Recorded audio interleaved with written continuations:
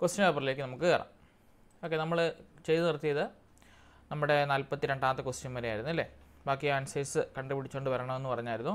നമുക്ക് നോക്കാം ബാക്കിയുള്ള ക്വസ്റ്റ്യൻ ആൻസർ ചുവടെ കൊടുത്തവയിൽ വാൻഹേലിയുടെ ജാമതീയ പഠന ലെവലുകളിൽ ഉൾപ്പെടാത്തത് ഏതാണ്? ഇത് ഡി എൽ എ ടെക്സ്റ്റ് ബുക്കിൽ അതേപടി കിടക്കുന്ന ഒരെണ്ണമാണ്. വാൻഹേലി എന്ന് പറഞ്ഞ ഗണിതശാസ്ത്രജ്ഞൻ ജാമതീയ പഠനത്തിന് ഓരോരോരോ ലെവലുകൾ അദ്ദേഹം നിശ്ചയിച്ചിട്ടുണ്ട്. ആ നിശ്ചയിച്ച അനുസരിച്ച്. ആ എന്തോ? സ്ക്രീൻ ഓണാ. കേട്ടോ? ബാക്കിയുള്ളവർ കാണത്തില്ലേ? കാണത്തില്ലേ? ബാക്കിയുള്ളവർ ആ കാണാം കേട്ടോ. ഒന്ന് ലെഫ്റ്റ് ആയിട്ട് കയറിയാൽ മതി കേട്ടോ. കിട്ടും. ഓക്കെ. ആ ഓക്കെ. അപ്പം ആ വാൻഹൈലി എന്താണ് പറഞ്ഞത്? നമ്മുടെ ജാമിതീയ പഠനത്തിന് ഓരോ ലെവലുകൾ വെച്ചാണ് നിർണയിച്ചിരിക്കുന്നത് അതിലൊന്നാമത്തേതാണ് ദൃശ്യവൽക്കരണം. രണ്ടാമത്തേതാണ് വിശകലനം. മൂന്നാമത്തേതാണ് വേർതിരിച്ചെടുക്കൽ. നാലാമത്തേതാണ് ഉദ്ഗ്രഥനം. അഞ്ചാമത്തേത് ചിന്തയുടെ കാഠിന്യം. ഇങ്ങനെ അഞ്ച് ലെവലിലൂടെയാണ് നമ്മുടെ വാൻഹേലി തന്റെ ജാമിതീയ പഠനത്തിന്റെ ലെവലുകൾ പറഞ്ഞിരിക്കുന്നത് അപ്പോൾ ഓർക്കണം ഒന്നാമത്തെ ഏതായിരുന്നു? നമ്മുടെ ദൃശ്യവൽക്കരണം. ദൃശ്യവൽക്കരണം. ദൃശ്യവൽക്കരണം. രണ്ടാമത്തേത് വിശകലനം വിശകലനം. മൂന്നാമത്തേത് വേർതിരിച്ചെടുക്കൽ. മൂന്നാമത്തേത് വേർതിരിച്ചെടുക്കൽ. നാലാമത്തേത് ഉദ്ഗ്രഥനം ഉദ്ഗ്രഥനം. അഞ്ചാമത്തേത് ചിന്തയുടെ കാഠിന്യം ചിന്തയുടെ കാഠിന്യം. ഇങ്ങനെ അഞ്ച് ലെവലിലാണ് നമ്മുടെ വാൻഹേലി തന്റെ ജാമതീയ പഠനത്തിന്റെ ലെവലുകൾ വേർതിരിച്ചിരിക്കുന്നത് അപ്പോൾ ഇതിൽ പെടാത്ത ഏതാണ്? ഏതാണ് പെടാത്തത്? പെടാത്തത് ഏതാ?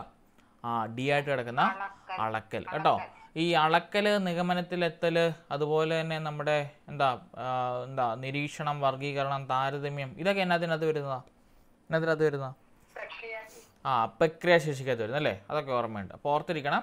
ഈ അളക്കലും അതുപോലെ തന്നെ നിരീക്ഷണവും താരതമ്യം ചെയ്യലും അതുപോലെ തന്നെ വേർതിരിച്ചെടുക്കലും നിഗമനത്തിലെത്തലും ഇതെല്ലാം എന്താണ്? പ്രക്രിയാശേഷികൾ അല്ലെങ്കിൽ പ്രോസസ് സ്കിൽസ് എന്നാണ് പറയുന്നത് പക്ഷേ നമ്മുടെ ജാമിതിയുടെ ലെവലിൽ വാൻഹേലി പറഞ്ഞ അനുസരിച്ച് ദൃശ്യവൽക്കരണം വിശകലനം വേർതിരിച്ചെടുക്കൽ ഉദ്ഗ്രഥനം അതുപോലെ തന്നെ ചിന്തയുടെ കാഠിന്യമാണ് ജാമതീയ പഠനത്തിന്റെ ലെവലായിട്ട് വാൻഹേലി എന്താണ് ഉൾപ്പെടുത്തിയത്. വേണമെങ്കിൽ ചോദിക്കാം. ജാമതീയ പഠനത്തിന് അഞ്ച് ലെവലുകൾ കൊണ്ടുവന്ന ഗണിതശാസ്ത്രജ്ഞൻ ആരാണ്? പേര് മറന്നുപോയില്ല. Van Hailey. കേട്ടോ? മറന്നു പോകരുത്. ഇങ്ങനെയും വേണമെങ്കിൽ ചോദിക്കാം. ഏത് രീതിക്ക് വേണമെങ്കിൽ ചോദിക്കാം. ജി കെ ക്വസ്റ്റ്യൻ ആണ്. അറ്റ് ദി സെയിം ടൈം പഠിക്കേണ്ട ഒരു പടവ് ക്വസ്റ്റ്യൻ ആണെന്ന് ഓർത്തിരിക്കണം. കേട്ടോ?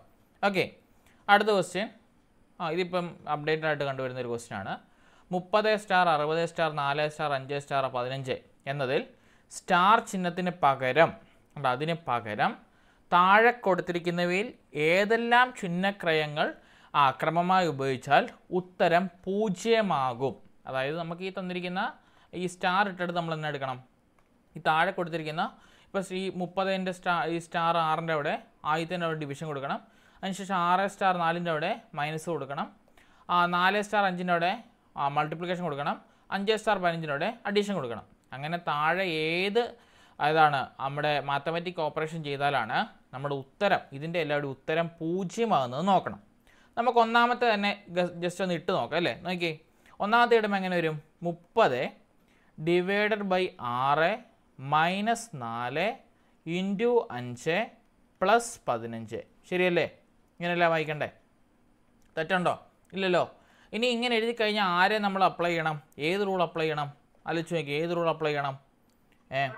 ആ ബോഡ് മാസ് റൂൾ ഉപയോഗിക്കണം. അപ്പോൾ സൈഡിലോട്ട് എഴുതണം B O D M A S N സൈഡിലോട്ട് എഴുതി വെക്കണം. അപ്പോൾ നോക്കിയേ ഇതിനകത്ത് ബ്രാക്കറ്റ് വല്ലതും ചെയ്യാനുണ്ടോ? ഉണ്ടോ?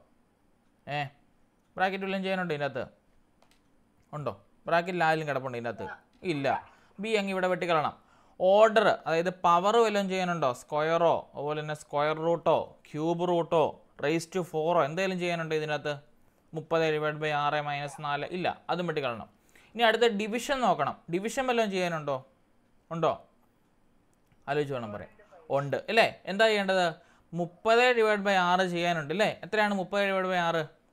മുപ്പത് ഡിവൈഡ് ആറ് എത്ര തേർട്ടി ഡിവൈഡ് ബൈ സിക്സ് മുപ്പതിൽ എത്ര? ആറുണ്ട് പറഞ്ഞു? അഞ്ച് വട്ടം അല്ലേ? അപ്പോൾ എന്ത് ചെയ്യും? മുപ്പത് ഡിവൈഡ് ബൈ ആറ് നമ്മുടെ ഡിവിഷനാണ് നമ്മൾ വെട്ടി. അപ്പോൾ അതിന്റെ ആൻസർ കേട്ട് കിട്ടും അഞ്ച് മൈനസ് നാല് ഇന്റു അഞ്ച് പ്ലസ് പതിനഞ്ച് എന്ന് നമ്മൾ എഴുതി. ഇനി അടുത്ത ആരാണ് എടുക്കേണ്ടത്? എം എം എന്ന് പറഞ്ഞാൽ മൾട്ടിപ്ലിക്കേഷൻ മൾട്ടിപ്ലിക്കേഷൻ ചെയ്യാനുണ്ടോ ഇവിടെ? ഉണ്ടോ? ഉണ്ട്. ഉണ്ട്. ആരെയാണ്? നാല് ഗുണം അഞ്ചിന്. കണ്ടോ? അപ്പോൾ എന്നാ എടുക്കണം? അഞ്ച് മൈനസ് നാലഞ്ച് എത്രയാണ്? ഇരുപത് പ്ലസ് പതിനഞ്ച് വരും. അപ്പോൾ മൾട്ടിപ്ലിക്കേഷൻ കഴിഞ്ഞു. അടുത്ത ആരാ ഉള്ളത്? എ ഫോർ അഡീഷൻ അല്ലേ? സങ്കലനം ചെയ്യണം. ആരെയാണ് ചെയ്യേണ്ടത്? സങ്കലനം ചെയ്യാനായിട്ട് ആരെയൊക്കെ ചെയ്യാനുള്ളത്? നോക്കിയേ ഇവിടെ. ആരൊക്കെയാണുള്ളത് സങ്കലനം ചെയ്യേണ്ട നമ്പർ ആരൊക്കെയാണ് അഡീഷൻ ചെയ്യേണ്ട നമ്പർ ആരൊക്കെയാണ് ഏ ഇവിടെ പോസിറ്റീവ് ആയിട്ടുള്ള നമ്പർ ആരൊക്കെയുണ്ട്? അഞ്ച് മൈനസ് ഇരുപത് പ്ലസ് പതിനഞ്ചിൽ ഏതൊക്കെ നമ്പറാണ് പോസിറ്റീവ് ആയിട്ടുള്ളത്. പറഞ്ഞോ? ഏതൊക്കെ നമ്പർ പോസിറ്റീവ് ആയിട്ടുള്ളത്? ഏ? അഞ്ചും പതിനഞ്ചും പോസിറ്റീവാണ് അല്ലേ? അപ്പോൾ അഞ്ചും പതിനഞ്ചും കൂട്ടിയ എത്രയാണ്? ഇരുപത് മൈനസ് ഇരുപത്. കണ്ടോ ഈ ഇരുപതിന്റെ സൈൻ ഏതാ? മൈനസ് ആണ്. ഈ അഞ്ചിന്റെ സൈൻ എന്ന് വെച്ചാൽ ഏതാണ് ഫ്രണ്ടിൽ ഒന്നും ഇല്ലെങ്കിൽ അതിന്റെ അർത്ഥം പ്ലസ് എന്നാണ്. അപ്പോൾ പ്ലസ് അഞ്ചും പ്ലസ് പതിനഞ്ചും കൂട്ടി എത്ര കിട്ടും? നമുക്ക് ഇരുപത് കിട്ടും. ഇരുപത് ഈ മൈനസ് ഇരുപത് ഇടണം. അപ്പോൾ എത്രയാണ്? ഇരുപത് മൈനസ് ഇരുപത്. അപ്പോൾ അഡീഷൻ കഴിഞ്ഞു. അടുത്ത നമുക്ക് ചെയ്യാനുള്ളത് സബ്സ്ട്രാക്ഷൻ അപ്പോൾ ഇരുപത് മൈനസ് ഇരുപത് എത്രയാണ്? ഉത്തരം പൂജ്യം. അപ്പോൾ ഏതാണ് ഉത്തരം വരേണ്ടത്? Option A. കണ്ടോ? ചെയ്യേണ്ട രീതി മനസ്സിലായോ? ഇങ്ങനെ സൈഡിലോട്ട് എഴുതി വെക്കുക ഓരോരുത്തരും ഓരോരുത്തരും വെട്ടിക്കളയുക. ചെയ്യുന്ന ക്രിയ നമ്മുടെ ഇതിനകത്ത് ക്വസ്റ്റിനകത്ത് വന്ന് മാറ്റുക. അതിനുശേഷം ചെയ്ത് ചെയ്ത് വരിക. കിട്ടിയായിരുന്നോ? എളുപ്പമല്ലേ കണ്ടുപിടിക്കാൻ? ആ പറഞ്ഞു. നോക്കിക്കേ. ഫൈവ് മൈനസ് ട്വന്റി എന്ന് പറഞ്ഞാൽ എന്നാ ഉദ്ദേശിക്കുന്നത്? പ്ലസ് ഫൈവ് മൈനസ് ട്വന്റി എന്നല്ല അർത്ഥം? അതായത് ഈ ഫൈവ് പോസിറ്റീവാണ് ഇതിന് തൊട്ടിപ്പുറം ഒരു ഫിഫ്റ്റീൻ കിടന്ന അതിന്റെ അർത്ഥം എന്താണ്? ഏതൊക്കെ നമ്പറാണ് പോസിറ്റീവ് ഉള്ളത്? ഈ പ്ലസ് ഫിഫ്റ്റീനും ഈ പ്ലസ് ഫൈവും പോസിറ്റീവാണ് അപ്പോൾ പതിനഞ്ചും അഞ്ചും എത്രയാണ്? ഇരുപത്. അല്ലേ? പക്ഷേ ഈ ഇരുപതിന്റെ കേസിൽ ആര് വരും? ഈ ഇരുപത് എന്ന് പറഞ്ഞാൽ ഫ്രണ്ടിലുള്ള സൈൻ നോക്കണം. സൈൻ ആരാണ്? ആ മൈനസ് അഥവാ നെഗറ്റീവ് സൈൻ ഉള്ളത്. അപ്പോൾ അത് നെഗറ്റീവ് നമ്പറായിട്ട് മാറും. പറഞ്ഞ് മനസ്സിലായോ? അപ്പോൾ ഇങ്ങനെ വരുവാണ്. നാല് മൈനസ് രണ്ട് പ്ലസ് രണ്ട് എന്ന് പറഞ്ഞാൽ എങ്ങനെ നമ്മൾ കൂട്ടും? നാല് മൈനസ് രണ്ട് പ്ലസ് രണ്ട് എന്ന് പറഞ്ഞാൽ നമ്മൾ അങ്ങനെ കൂട്ടും? ആരൊക്കെ അതിൽ പോസിറ്റീവ് നമ്പർ ആയിട്ടുള്ളത്? പോസിറ്റീവ് സൈൻ ഉള്ളവരെ മാത്രം നോക്കിയാൽ മതി. ആരാണ് അവിടെ പോസിറ്റീവ് ഉള്ളത്? പ്ലസ് നാലും പ്ലസ് രണ്ടുമാണ് അവിടെ പോസിറ്റീവ് അപ്പോൾ എന്നാ വരും? നാലും രണ്ടും ആറ് മൈനസ് രണ്ട് വരും. എത്ര വരും ആൻസർ നാല് വരും. കണ്ടോ? അപ്പോൾ നോക്കാനായിട്ട് ഒരു സംഖ്യ പോസിറ്റീവ് ആണ് നെഗറ്റീവ് ആണ് അതിന്റെ ഫ്രണ്ടിൽ മൈനസ് സൈൻ ഉണ്ടോ എന്ന് നോക്കിയാൽ മതി. ഉണ്ടെങ്കിൽ അത് നെഗറ്റീവ് നമ്പർ അല്ലാത്തപ്പോൾ അല്ലാതെ പോസിറ്റീവ് നമ്പർ ക്ലിയർ ആയോ? ക്ലിയർ ആയോ? അപ്പം ഇങ്ങനെ വേണം ചെയ്യാൻ. പ്രത്യേകിച്ച് ഈ ബോർഡ് മാസ് ചെയ്യുമ്പം തെറ്റിപ്പോയിട്ട് ഇടയുള്ള ക്വസ്റ്റ്യൻ അവർ എടുത്തുള്ളൂ. അല്ലാതെ എളുപ്പമുള്ള ക്വസ്റ്റ്യൻ ഇവിടെ നമ്മൾ ഒന്നിലോ രണ്ടിലോ പഠിക്കുന്ന കുട്ടികളല്ലേ? നമ്മളവരെ പഠിപ്പിക്കാൻ പോകുന്ന അധ്യാപകരാണ്. അതുകൊണ്ട് തന്നെ ഇങ്ങനെയുള്ള ക്വസ്റ്റ്യൻസ് നിങ്ങൾ നോക്കിയിട്ട് വേണം. കേട്ടോ ഫ്രണ്ടിൽ ഒരു സൈനു ഇല്ല അതിന്റെ അർത്ഥം എന്താണ്? It's a number is positive നമ്മൾ മൈനസ് വണ്ണിനെ മൈനസ് വൺ എന്ന് പറയും. പക്ഷേ വണ്ണിനെ നമ്മൾ പോസിറ്റീവ് ആണെന്ന് അവരും പറഞ്ഞു കേട്ടിട്ടുണ്ടോ? ഇല്ല അത് ഓൾറെഡി നോൺ ആണ്. ആ നമ്പർ ഈസ് പോസിറ്റീവ് നോൺ ആണ്. കേട്ടോ? ഇപ്പോൾ രണ്ടെന്ന് നമ്മൾ പറയും അല്ലേ പ്ലസ് രണ്ടെന്ന് ആരെങ്കിലും പറഞ്ഞു കേട്ടിട്ടുണ്ടോ? ഇല്ല. അതിന്റെ അർത്ഥം എന്താണ്? ആ നമ്പർ ഓൾറെഡി പോസിറ്റീവ് ആണ്. അപ്പോൾ പോസിറ്റീവ് ആയിട്ടുള്ള ആൾക്കാരിൽ നമ്മൾ അഡീഷൻ ചെയ്യണം അപ്പം ആഡ് ചെയ്യുമ്പം രണ്ട് പോസിറ്റീവ് ആയിട്ടുള്ള നമ്പർ ഉണ്ടെങ്കിൽ അവന്മാരെ വേണം ആഡ് ചെയ്ത് എടുക്കുവാൻ. കേട്ടോ? മനസ്സിലായോ? മനസ്സിലായോ പറഞ്ഞത്? ക്ലിയർ ആയോ? ഓക്കെ അങ്ങനെയാണെങ്കിൽ അടുത്ത ക്വസ്റ്റ്യൻ നോക്കി എണ്ണായിരത്തി ഇരുന്നൂറ് എണ്ണായിരത്തി ഇരുന്നൂറ് എന്ന സംഖ്യ ഒരു പൂർണ വർഗമാകുവാൻ അതിനോട് കൂട്ടാവുന്ന ഏറ്റവും ചെറിയ സംഖ്യ ഏത്? നല്ലൊരു ക്വസ്റ്റ്യനാണ് അതായത് നമ്മുടെ പൂർണ വർഗത്തിന്റെ ഒന്ന് തൊട്ട് പതിനഞ്ച് വരെയുള്ള സ്ക്വയറൊക്കെ പഠിക്കണമെന്ന് പറഞ്ഞാൽ അല്ലേ? ഓർമ്മയില്ലേ? ഓർമ്മയില്ലേ? ഒന്ന് തൊട്ട് പതിനഞ്ച് വരെയുള്ള സ്ക്വയറൊക്കെ ഓക്കെ അപ്പോൾ അങ്ങനെയാണെന്ന് നോക്കി എണ്ണായിരത്തി ഇരുന്നൂറാണ് തന്നിരിക്കുന്നത് അതിനോട് ഏത് സംഖ്യ കൂട്ടിയാലാണ് എന്താവുന്നത്? ഇത് വർഗമാണ്. അല്ലെങ്കിൽ ഏത് സംഖ്യ കൂട്ടിയാലാണ്? ഏത് ചെറിയ സംഖ്യ കൂട്ടിയാലാണത്? പൂർണ വർഗമാകും നോക്കണം. അപ്പോൾ എണ്ണായിരത്തി ഇരുന്നൂറിന് അടുത്തുള്ള വർഗം ഏതാണെന്ന് കണ്ടുപിടിക്കണം. ശരിയല്ലേ? ഇപ്പം നമുക്കറിയാം. അഞ്ചിന്റെ സ്ക്വയർ എത്രയാ? അഞ്ചിന്റെ സ്ക്വയർ ഏ അഞ്ചിന്റെ സ്ക്വയർ എത്രയാണ് പറഞ്ഞ് സിമ്പിളായിട്ട് പറഞ്ഞു. പൂർണവർഗം വെച്ചാൽ സ്ക്വയർ സ്ക്വയറാണ് വരണം കേട്ടോ. അഞ്ചിന്റെ സ്ക്വയർ എത്രയാ? ഇരുപത്തഞ്ചാ. ശരിയല്ലേ? ഇരുപത്തഞ്ചാ. ഡൗട്ടൊന്നുമില്ല അങ്ങനെയാണെങ്കിൽ രണ്ടായിരത്തി അഞ്ഞൂറിന്റെ സ്ക്വയർ എത്രയായിരിക്കും വരേണ്ടത്? രണ്ടായിരത്തി അഞ്ഞൂറിന്റെ എത്രയുടെ സ്ക്വയർ ആയിരിക്കും വരേണ്ടത്? അഞ്ചിന്റെ സ്ക്വയർ എന്ന് വെച്ചാൽ ഇരുപത്തഞ്ചാണ്. അപ്പോൾ രണ്ടായിരത്തി അഞ്ഞൂറ് എത്രയുടെ ആയിരിക്കും വരേണ്ടത്? എത്രയുടെ സ്ക്വയർ ആയിരിക്കും വരേണ്ടത്? ഏ അമ്പതിന്റെ. അമ്പതിന്റെ സ്ക്വയറാണ് അപ്പോൾ നമുക്കറിയാം ആറിന്റെ സ്ക്വയർ മുപ്പത്താറാണെങ്കിൽ മൂവായിരത്തി അറുന്നൂറിന്റെ സ്ക്വയർ എത്ര ആയിരിക്കും വരേണ്ടത്? മുപ്പത്താറിന്റെ സ്ക്വയർ ആയിരിക്കും വരേണ്ടത്. ശരിയല്ലേ? അങ്ങനെ ഒന്ന് ആലോചിച്ച് നോക്കിയേ. എൺപ എണ്ണായിരത്തി ഇരുന്നൂറിന് അടുത്ത് വരുന്ന നമ്പർ ആരാ ഉള്ളത്? ആരാ ഉള്ളത്? ആരാ ഉള്ളത്? ഒമ്പതിന്റെ സ്ക്വയർ എത്രയാ? എൺപത്തി ഒന്നാണ് അല്ലേ? അപ്പോൾ എൺപത്തി ഓരായിരത്തിന്റെ ആ സ്ക്വയർ വാല്യൂ അല്ലെങ്കിൽ ഏതിന്റെ സ്ക്വയർ വാല്യൂ ആയിരിക്കും നമ്മുടെ എൺപത്തി ഓരായിരം വരുന്നത്? തൊണ്ണൂറിന്റെ സ്ക്വയർ ആയിരിക്കും വരുന്നത്. ശരിയല്ലേ? തൊണ്ണൂറ് സ്ക്വയറിൽ വരുന്നത്?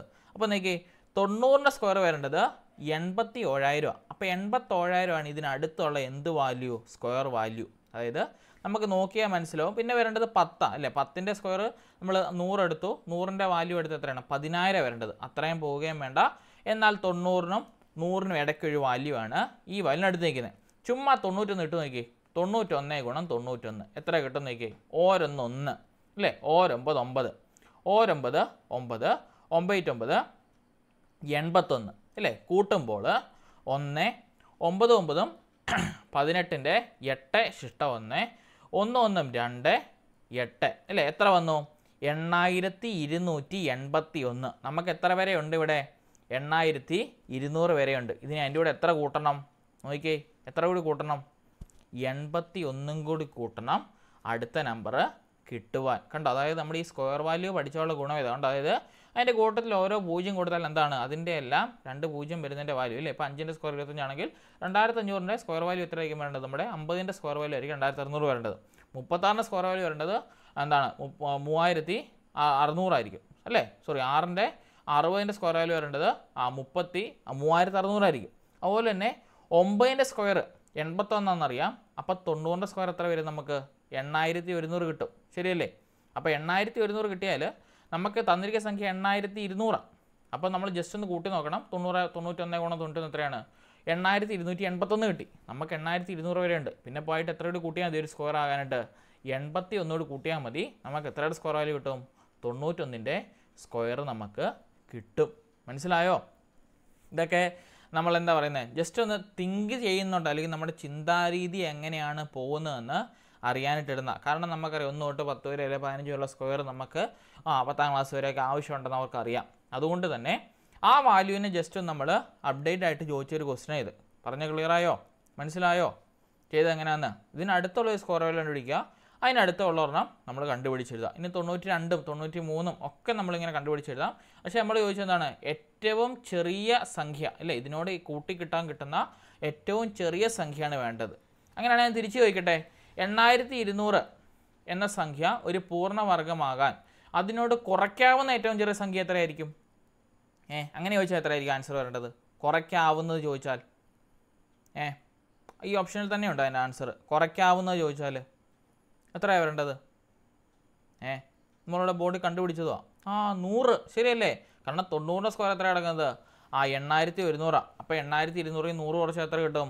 എണ്ണായിരത്തി ഒരുന്നൂറ് കിട്ടും. അപ്പോൾ എത്രയുടെ സ്ക്വയറായിട്ട് മാറും? തൊണ്ണൂറിന്റെ സ്ക്വയർ ആയിട്ട് മാറും. കേട്ടോ അങ്ങനെ തിരിച്ചും മറിച്ചും ഒക്കെ ചോദിക്കാം. അപ്പം ഒന്ന് തൊട്ട് പത്ത് വരെയുള്ള സ്ക്വയർ വാല്യൂ എല്ലാം പഠിച്ചു വെക്കണം കേട്ടോ. അത് നിർബന്ധമാണ്. നിങ്ങൾക്ക് അത് യൂസ്ഫുൾ ആവും കേട്ടോ. പത്ത് വരെ അല്ല പതിനഞ്ച് വരെ പഠിക്കാൻ നിർബന്ധമാണ്. പക്ഷേ പത്ത് വരെയിൽ നിങ്ങളിന്ന് പഠിക്കുക. ബാക്കി അഞ്ചെണ്ണം നാളെ പഠിച്ചാൽ മതി കേട്ടോ. ഒന്നിന്റെ സ്ക്വയർ ഒന്ന് രണ്ടിന്റെ സ്ക്വയർ നാല് മൂന്നിന്റെ സ്ക്വയർ ഒമ്പത് നാലിന്റെ സ്ക്വയർ പതിനാറ് അഞ്ചിന്റെ സ്ക്വയർ ഇരുപത്തഞ്ച് ആറിന്റെ സ്ക്വയർ മുപ്പത്താറ് ഏഴിന്റെ സ്ക്വയർ നാൽപ്പത്തി ഒമ്പത് എട്ടിന്റെ സ്ക്വയർ അറുപത്തിനാല് ഒമ്പതിന്റെ സ്ക്വയർ എൺപത്തി ഒന്ന് പത്തിന്റെ സ്ക്വയർ നൂറ്. കേട്ടോ നമ്മൾ ടേബിൾ അറിയാമല്ലോ അതിന്റെ അകത്ത് സ്ക്വയർ വാല്യൂ എടുത്തങ്ങ് പഠിച്ചാൽ മതി കേട്ടോ. പൂർണ വർഗങ്ങളുടെ ആ സ്ക്വയർസിന്റെ ടേബിൾ നിങ്ങൾ അല്ലെങ്കിൽ ആ ഒരു വാല്യൂ നിങ്ങൾ അറിഞ്ഞിരിക്കണം. എന്നാലേ നമുക്ക് എളുപ്പമാകുകയുള്ളൂ. കേട്ടോ? ഓക്കെ അടുത്ത ക്വസ്റ്റ്യൻ നോക്കിയേ. ഇത് ഇമ്പോർട്ടന്റ് ഈ ക്വസ്റ്റ്യൻ മിക്കപ്പോഴും റിപ്പീറ്റ് ആയിട്ട് കണ്ടിട്ടുണ്ട്. നോക്കണം. ഒരു ത്രികോണത്തിന്റെ ചുറ്റളവ് എന്ന് പറയുന്നത് ഇരുപത് സെന്റിമീറ്റർ ആണ്. ഒരു വശത്തിന്റെ നീളം ആകാവുന്നത് ഏത്? എന്നാണ് ചോദിച്ചിരിക്കുന്നത് നമുക്കൊരു ത്രികോണമുണ്ട്. ആ ത്രികോണത്തിന്റെ ചുറ്റളവ് എന്ന് പറഞ്ഞാൽ എത്രയാണ് ഉദ്ദേശിക്കുന്നത്? ചുറ്റളവ് എന്ന് വെച്ചാൽ പെരിമീറ്റർ അല്ലേ? ചുറ്റിനുമുള്ള അളവാണ് ചുറ്റളവ് എന്ന് പറഞ്ഞത്. അതിന്റെ ചുറ്റളവ് നമുക്ക് എത്തിയിട്ടുണ്ട് ഇരുപത് സെന്റിമീറ്റർ ആണ്. അങ്ങനെയാണെങ്കിൽ താഴെ കൊടുത്തിരിക്കുന്ന ഓപ്ഷന്റെ അകത്ത് ഏതാണ് അതിന്റെ ഒരു വശത്തിന്റെ നീളം ആകാവുന്നത് എന്നാണ് ചോദിച്ചിരിക്കുന്നത് നമുക്കറിയാം ഒരു ത്രികോണം നമുക്ക് വരയ്ക്കണമെങ്കിൽ അതിനുള്ള കണ്ടീഷൻ എന്താ? പഠിപ്പിച്ചാൽ നിങ്ങളെ. ഓർമ്മയുണ്ടോ? ഒരു ത്രികോണം നമുക്ക് വരയ്ക്കണമെങ്കിൽ അതിനൊരു കണ്ടീഷൻ ആ ത്രികോണത്തിന്റെ നമ്പേഴ്സ് തമ്മിൽ ഫോളോ ചെയ്യണം. എന്താണ് ആ കണ്ടീഷൻ ഏ? അറിയാവോ ആർക്കെങ്കിലും? ഓർമ്മയുണ്ടോ? ആർക്കെങ്കിലും ഓർമ്മയുണ്ടോ? ഞാൻ വേണ്ടി തുടക്കം ഇട്ട് തരാം. രണ്ട് വശങ്ങളുടെ ആ ബാക്കി കംപ്ലീറ്റ് ചെയ്തു. ഏ? പറഞ്ഞു? ബാക്കി അറിയത്തില്ലേ? രണ്ട് വശങ്ങളുടെ തുക എന്ന് പറയുന്നത് മൂന്നാമത്തെ വശത്തിനേക്കാളും കൂടുതലായിരിക്കണം. ആ റൂൾ കേട്ട് ഓർമ്മയുണ്ടോ എവിടെയെങ്കിലും? ആ ഓർക്കണം കേട്ടോ. എന്താണ്? ഒരു ത്രികോണം ആ ഇപ്പോൾ ഓർമ്മയുണ്ട്. ഒരു ത്രികോണം നമുക്ക് വഴിക്കണമെങ്കിൽ ആ ത്രികോണത്തിന്റെ രണ്ട് വശങ്ങളുടെ തുക എഴുതി വെച്ചോ കേട്ടോ. രണ്ട് ഒരു ത്രികോണം നമുക്ക് വരയ്ക്കണമെങ്കിൽ. ഉണ്ടോ ഒരു ഒരു ത്രികോണം ത്രികോണം വരയ്ക്കണമെങ്കിൽ വരയ്ക്കണമെങ്കിൽ എന്ത് ചെയ്യണം? വരയ്ക്കണമെങ്കിൽ രണ്ട് വശങ്ങളുടെ രണ്ട് വശങ്ങളുടെ തുക എന്താവണം? മൂന്നാമത്തെ മൂന്നാമത്തെ വശത്തിനേക്കാൾ മൂന്നാമത്തെ വശത്തിനേക്കാൾ വശത്തിനേക്കാൾ കൂടുതൽ ആയിരിക്കണം. കൂടുതൽ ആയിരിക്കണം. ഈ റൂൾ കേട്ടിട്ടില്ലേ? അതായത് നമുക്കൊരു ത്രികോണം എവിടെ വരയ്ക്കണമെങ്കിലും ആ ത്രികോണത്തിനൊരു റൂൾ സാറ്റിസ്ഫൈ ചെയ്യണം. അല്ലെങ്കിൽ അത് കൊണ്ട് നടക്കണം. എന്താണ്? ത്രികോണത്തിന്റെ രണ്ട് വശങ്ങളുടെ തുക നമുക്ക് കൂട്ടിയാൽ മൂന്നാമത്തെ വശത്തിനേക്കാളും കൂടുതലായിരിക്കണം നമ്മുടെ ത്രികോണത്തിന്റെ വശങ്ങളുടെ നീളം എന്ന് പറയുന്നത്. അങ്ങനെയാണെങ്കിൽ ഇവിടെ മൊത്തം അതായത് ഇവിടെ ഇപ്പോൾ എ ആന്നിരിക്കട്ടെ ഇവിടെ ഇപ്പോൾ ബി ആന്നിരിക്കട്ടെ ഇവിടെ സി ആന്നിരിക്കട്ടെ. ഇവിടെ എയും ബിയും സിയും തമ്മിൽ കൂട്ടിയാൽ എത്ര കിട്ടുമെന്നാണ് നിൽക്കുന്നത് ഇരുപത് സെന്റിമീറ്റർ കിട്ടും. അങ്ങനെയാണെങ്കിൽ ഓപ്ഷൻ വെച്ച് ഓരോരുത്തരും ഇട്ട് നോക്കിയേ. ഇപ്പം നമ്മൾ ഒരു സൈഡിന് ഒമ്പത് കൊടുത്തു. ഏ ഒരു സൈഡ് നമ്മൾ ഒമ്പത് കൊടുത്തു. ഇപ്പം നമ്മൾ ഈ ഒരു വശത്തിന് ഒമ്പത് കൊടുത്തെന്ന് വെച്ചോ. ഈ സൈഡിന് ഒമ്പത് കൊടുത്താൽ ബാക്കിയുള്ള വശത്തിന് എത്ര വെച്ച് കൊടുക്കാം? ആലോചിച്ച് നോക്കിയേ. മൊത്തം ഇരുപതേ ആകാവുള്ളൂ കേട്ടോ. ഒരു സൈഡ് നമ്മൾ ഓപ്ഷൻ എയിൽ ഒമ്പത് കൊടുത്തു. അങ്ങനെയാണെങ്കിൽ ബാക്കിയുള്ള വശങ്ങൾ എത്രയൊക്കെ കൊടുക്കാം? ആലോചിച്ച് നോക്കി പറഞ്ഞു. ഇഷ്ടമുള്ള നമ്പർ പറഞ്ഞു. രണ്ട് നമ്പർ തുല്യമായിരിക്കണം ഇരുപത് വരെ ആകാവുള്ളൂ. ഏ? പറഞ്ഞു. ഒരു സൈഡ് ഒമ്പതാണ്. ഓപ്ഷൻ അനുസരിച്ച് നമ്മൾ ഇട്ടാൽ ട്രയൽ ആൻഡ് മെതേഡ് നടക്കത്തുള്ളൂ. ഓപ്ഷൻ ഓപ്ഷൻ നമ്മൾ ഇട്ടു. ഒമ്പത് ഇട്ടു. അങ്ങനെയാണെങ്കിൽ ഇരുപത് വരെ മൊത്തം മൂന്ന് വശങ്ങളോട് കൂട്ടി ഇരുപതേ ആകാവുള്ളൂ. ഒരു വശത്തിന്റെ സൈഡ് ഞാൻ ഒമ്പത് ഇട്ടു. ഓപ്ഷൻ വെച്ചുകൊണ്ട് ബാക്കി രണ്ട് സൈഡ് എത്രയൊക്കെ ആകാം? ആലോചിച്ച് നോക്ക്. ആറും അഞ്ചും ആകാം. ഓക്കെ ഒരു സൈഡ് ഞാൻ ആറ് ഇട്ടു ഒരു സൈഡ് ഞാൻ അഞ്ച് ഇട്ടു.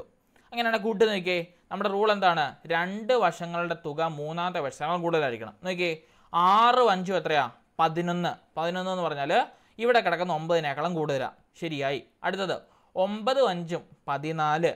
ഇവിടെ കിടക്കുന്ന ആറിനേക്കാളും കൂടുതലാണ് അത് ഓക്കെ ആയി. അടുത്തത് ഒമ്പതും ആറും പതിനഞ്ചാണ് അഞ്ചിനേക്കാൾ കൂടുതലാണ്. അപ്പം മൂന്ന് റൂൾ സാറ്റിസ്ഫൈ ചെയ്തില്ലേ? മൂന്ന് സൈഡ് സാറ്റിസ്ഫൈ ചെയ്തില്ലേ? ചെയ്തില്ലേ? പറഞ്ഞാൽ മനസ്സിലായോ? അതായത് റൂൾ എന്താണ്? രണ്ട് വശങ്ങളുടെ തുക എന്തായിരിക്കണം? മൂന്നാമത്തെ വശത്തിനേക്കാളും കൂടുതലായിരിക്കണം. അത് എല്ലാ വശത്തിനും നോക്കണം. അപ്പോൾ നോക്കിയേ ഒമ്പതും ആറും കൂട്ടിയാൽ എത്രയാണ് നമുക്ക് കിട്ടേണ്ടത്? പതിനഞ്ചാണ് കിട്ടേണ്ടത്. അതെന്ന് പറഞ്ഞാൽ അടുത്ത നമ്പറായ അഞ്ചിനേക്കാളും കൂടുതലാണ്. അങ്ങനെയാണെങ്കിൽ അടുത്തത് നോക്കിയേ ഒമ്പതും അഞ്ചും കൂട്ടിയാൽ നമുക്ക് പതിനാല് കിട്ടും. അത് അടുത്ത നമ്പറായിട്ടുള്ള ആറിനേക്കാളും കൂടുതലാണ്. അടുത്തത് ആറും അഞ്ചും കൂട്ടിയാൽ പതിനൊന്ന് കിട്ടും. അത് അടുത്ത നമ്പറായിട്ടുള്ള ഒമ്പതിനേക്കാളും കൂടുതലാണ്. ശരിയല്ലേ? അപ്പോൾ നോക്കിയേ എല്ലാ റൂളും സാറ്റിസ്ഫൈ ചെയ്തു. അപ്പോൾ എത്രയായിരിക്കണം ശരിക്കുള്ള നമ്പർ ഒമ്പതായിരിക്കണം ശരിക്കുള്ള നമ്പർ ഇനി ബാക്കിയുള്ള നമ്പർ ഇട്ടാൽ എന്താ കുഴപ്പമെന്ന് അറിയണ്ടേ? നിങ്ങൾക്ക് സംശയമില്ലേ? ബാക്കിയുള്ള ഇട്ടാൽ എന്നാ പറ്റുമെന്നൊരു സംശയമുള്ളവരുണ്ടോ ഉണ്ടോ? പത്തോ പതിനൊന്നോ പന്ത്രണ്ടോ ഒക്കെ ഇട്ട് കഴിഞ്ഞാൽ എന്താണ് കുഴപ്പമെന്നൊരു ഡൗട്ട് തോന്നിയവരില്ലേ അവർക്ക് വേണ്ടി പറഞ്ഞുതരാം. ഞാനൊരു മറ്റൊരു ത്രികോണം വരയ്ക്കുകയാണ്. ഞാൻ അതിന്റെ ഒരു വശം പത്ത് കൊടുത്തു. ഏഹ് പത്ത് ഇവിടെ കൊടുത്തു. ബാക്കി രണ്ട് വശങ്ങൾ കൂട്ടി ഇരുപതാക്കണം. ഏതെങ്കിലും നമ്പർ പറഞ്ഞു നിങ്ങൾ ഏതെങ്കിലും നമ്പർ പറഞ്ഞു? ഇഷ്ടമുള്ള നമ്പർ പറഞ്ഞു? ബാക്കി രണ്ട് നമ്പർ കൂട്ടി ഇരുപതാക്കണം മൊത്തം. പറഞ്ഞു? ഏ?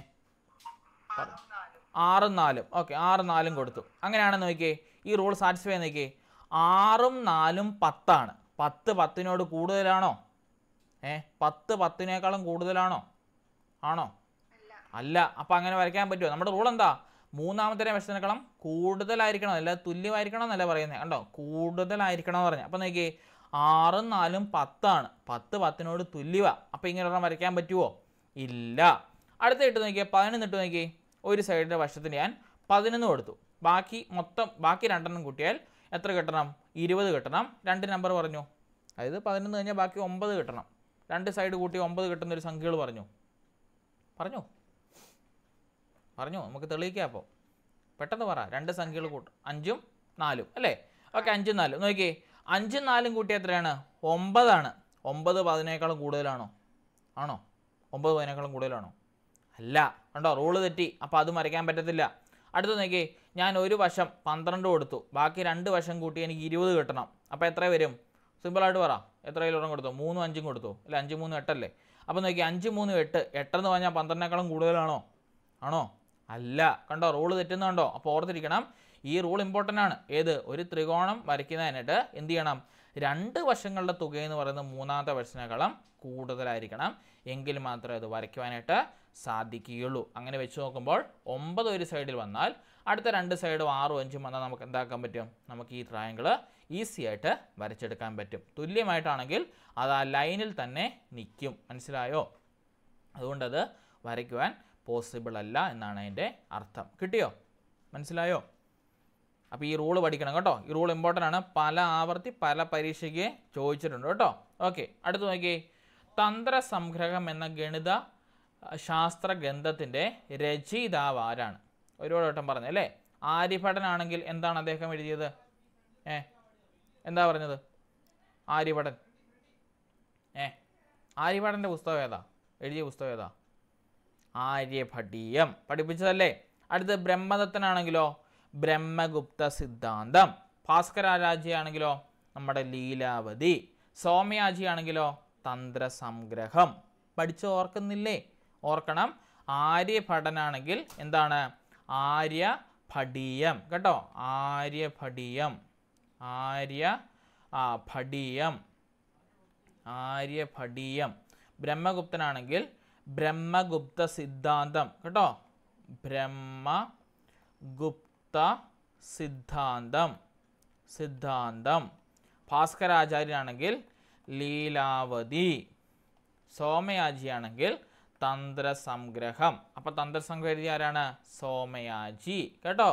മറന്നു പോകല്ലേ ഇതൊക്കെ ഒരുപാട് വട്ടം ആവർത്തിക്കുന്ന ക്വസ്റ്റിന് കേട്ടോ? ജി കെ പാർട്ടിയിൽ നിന്നൊക്കെ പെഡഗോഗി പാട്ടി എന്നൊക്കെ സ്ഥിരമായിട്ട് ചോദിക്കുന്നതാണ്. പ്രത്യേകിച്ച് ഈ ലീലാവതിയൊക്കെ മിക്ക ക്വസ്റ്റ്യൻ പേപ്പറുള്ള കേട്ടോ. ഭാസ്കരാചാര്യ വണ്ണ് ഭാസ്കരാചാര്യ ടൂൽ ബ്രഹ്മഗുപ്തനെ അല്ല ആര്യഭടി. ഇത് ഈ നാല് പുസ്തകങ്ങളുള്ളൂ മെയിനായിട്ട് ഇതങ്ങ് ഓർത്ത് വെക്കുക ആര്യഭട അവരുടെ പേര് തന്നെ ഉണ്ടോ? ആര്യഭടീയം. ബ്രഹ്മപുത്രാണെങ്കിൽ ബ്രഹ്മപുത്ര സിദ്ധാന്തം. ഭാസ്കരാജിയാണെങ്കിൽ ലീലാവതി. സോമയാജിയാണെങ്കിൽ എന്താണ് നമ്മുടെ തന്ത്ര സംഗ്രഹം ഓർത്തിരിക്കണം മറന്നു പോകരുത്. കേട്ടോ? ഓക്കെ. അടുത്ത ക്വസ്റ്റ്യൻ എഴുതിയെടുക്കുന്നുണ്ടോ അതില്ലേ? ഏ? ഓക്കെ. അടുത്ത ക്വസ്റ്റ്യൻ നോക്കിയേ. ആ.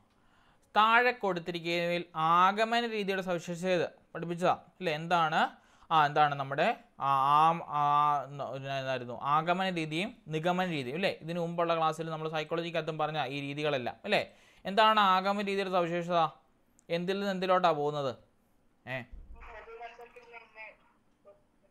ഏ ആഗമന രീതിയോ? ഒന്നുകൂടി ഒന്ന് ആലോചിച്ച് നോക്കി ആഗമന രീതി എന്ന് പറഞ്ഞാൽ എന്താണ്?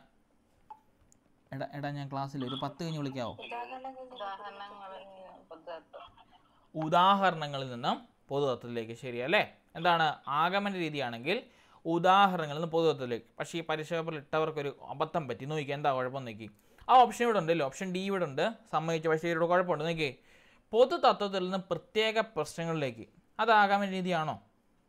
ആണോ? ആഗമന രീതിയാണോ? ആണോ? ആഗമന രീതിയാണോ? പൊതുത്വത്തിൽ നിന്ന് പ്രത്യേക പ്രശ്നത്തിലേക്ക് പറഞ്ഞാൽ അല്ലല്ലേ? അത് ഏത് രീതി അപ്പം? നിഗമന രീതി. നിഗമന രീതി അത്. ഓക്കെ. ഇത് നിഗമന രീതി കേട്ടോ. നിഗമന രീതി. നിഗമന രീതി. അടുത്ത നോക്കിയേ.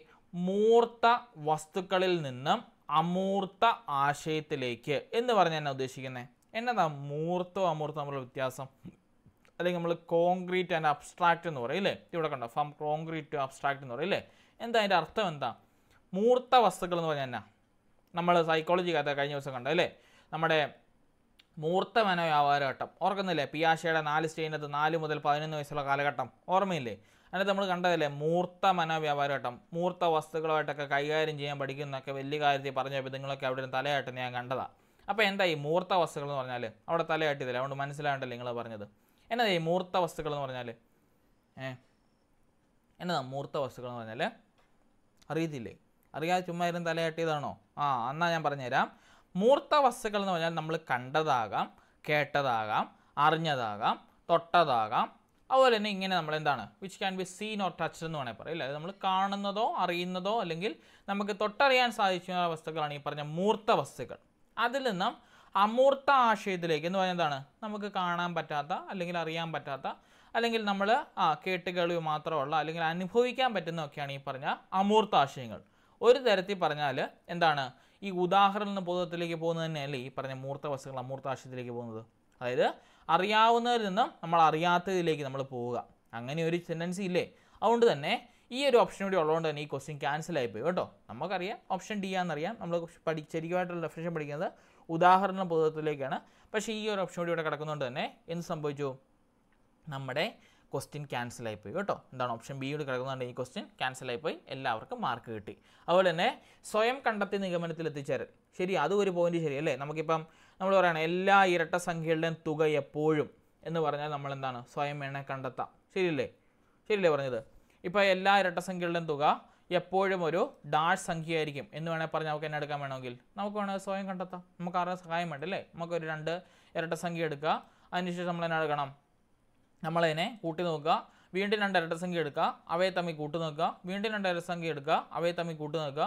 ഇങ്ങനെ നമുക്ക് പരസ്പരം ഇങ്ങനെ കൂട്ടിക്കൂട്ടി കൂട്ടി നോക്കിയാൽ നമുക്ക് കിട്ടും രണ്ട് ഇരട്ട സംഖ്യയുടെ തുക എപ്പോഴും ഒരു ഇരട്ട സംഖ്യ ആയിരിക്കും. അപ്പോൾ നോക്കി സ്വയം കണ്ടെത്തിൽ നിഗമനത്തിൽ വെച്ചാൽ നമുക്ക് ഒരുപാട് എക്സാമ്പിൾ നമ്മൾ വീണ്ടും ഒരു പ്രൂഫിലേക്ക് വരും. അപ്പോൾ ഈ കണ്ട പോയിന്റ്സ് എല്ലാം എന്താണ്? ഈ പറഞ്ഞ ആഗമന രീതിയുടെ സവിശേഷത ആയതുകൊണ്ട് തന്നെ ഈ ക്വസ്റ്റ്യൻ ക്യാൻസലായിട്ട് പോയി. കേട്ടോ? അപ്പോൾ ഓർത്തിരിക്കണം.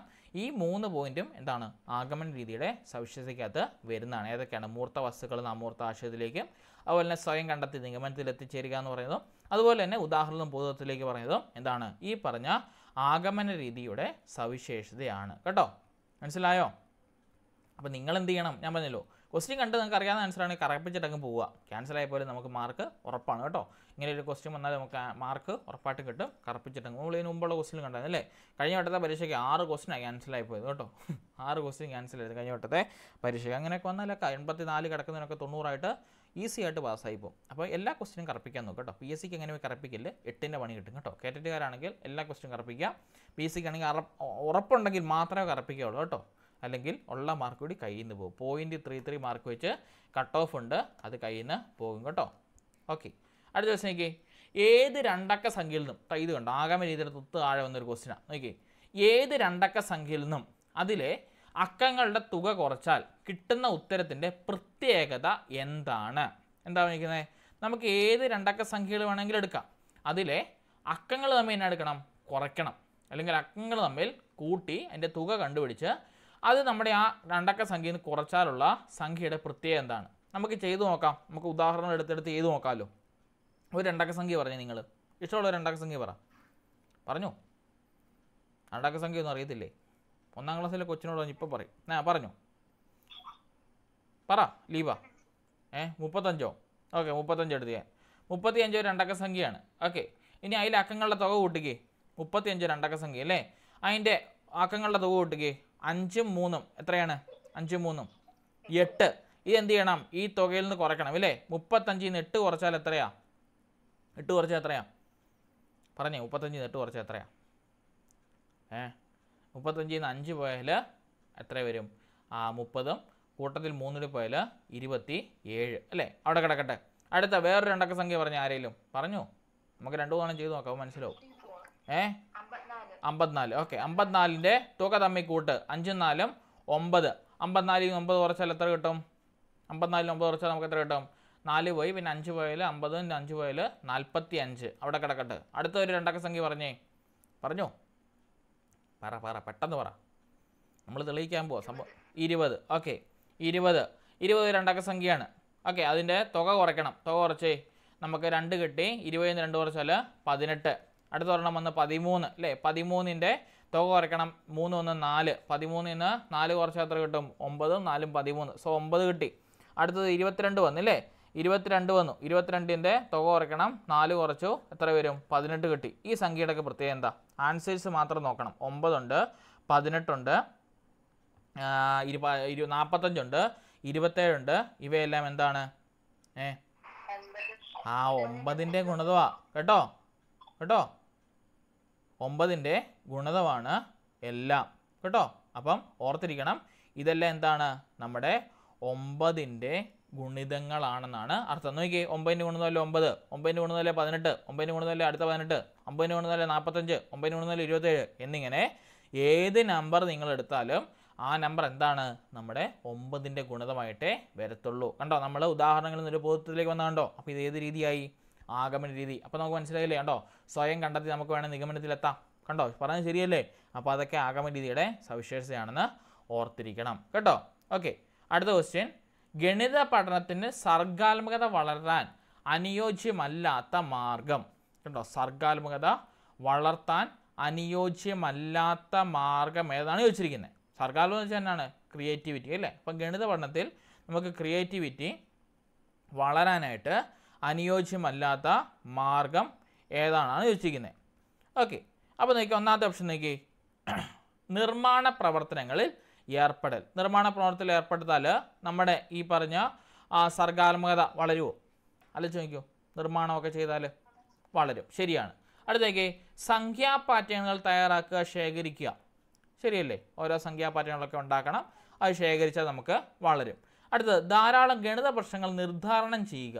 വളരുമോ സർഗാത്മകത വളരണ്ട അല്ല അതിലുള്ള സ്കില്ലല്ല ആ ഇല്ല. ഓക്കെ അടുത്ത നോക്കി ഗണിത കടകൾ സോറി കഥകൾ പതിപ്പുകൾ എന്നിവ തയ്യാറാക്കുക ശേഖരിക്കുക.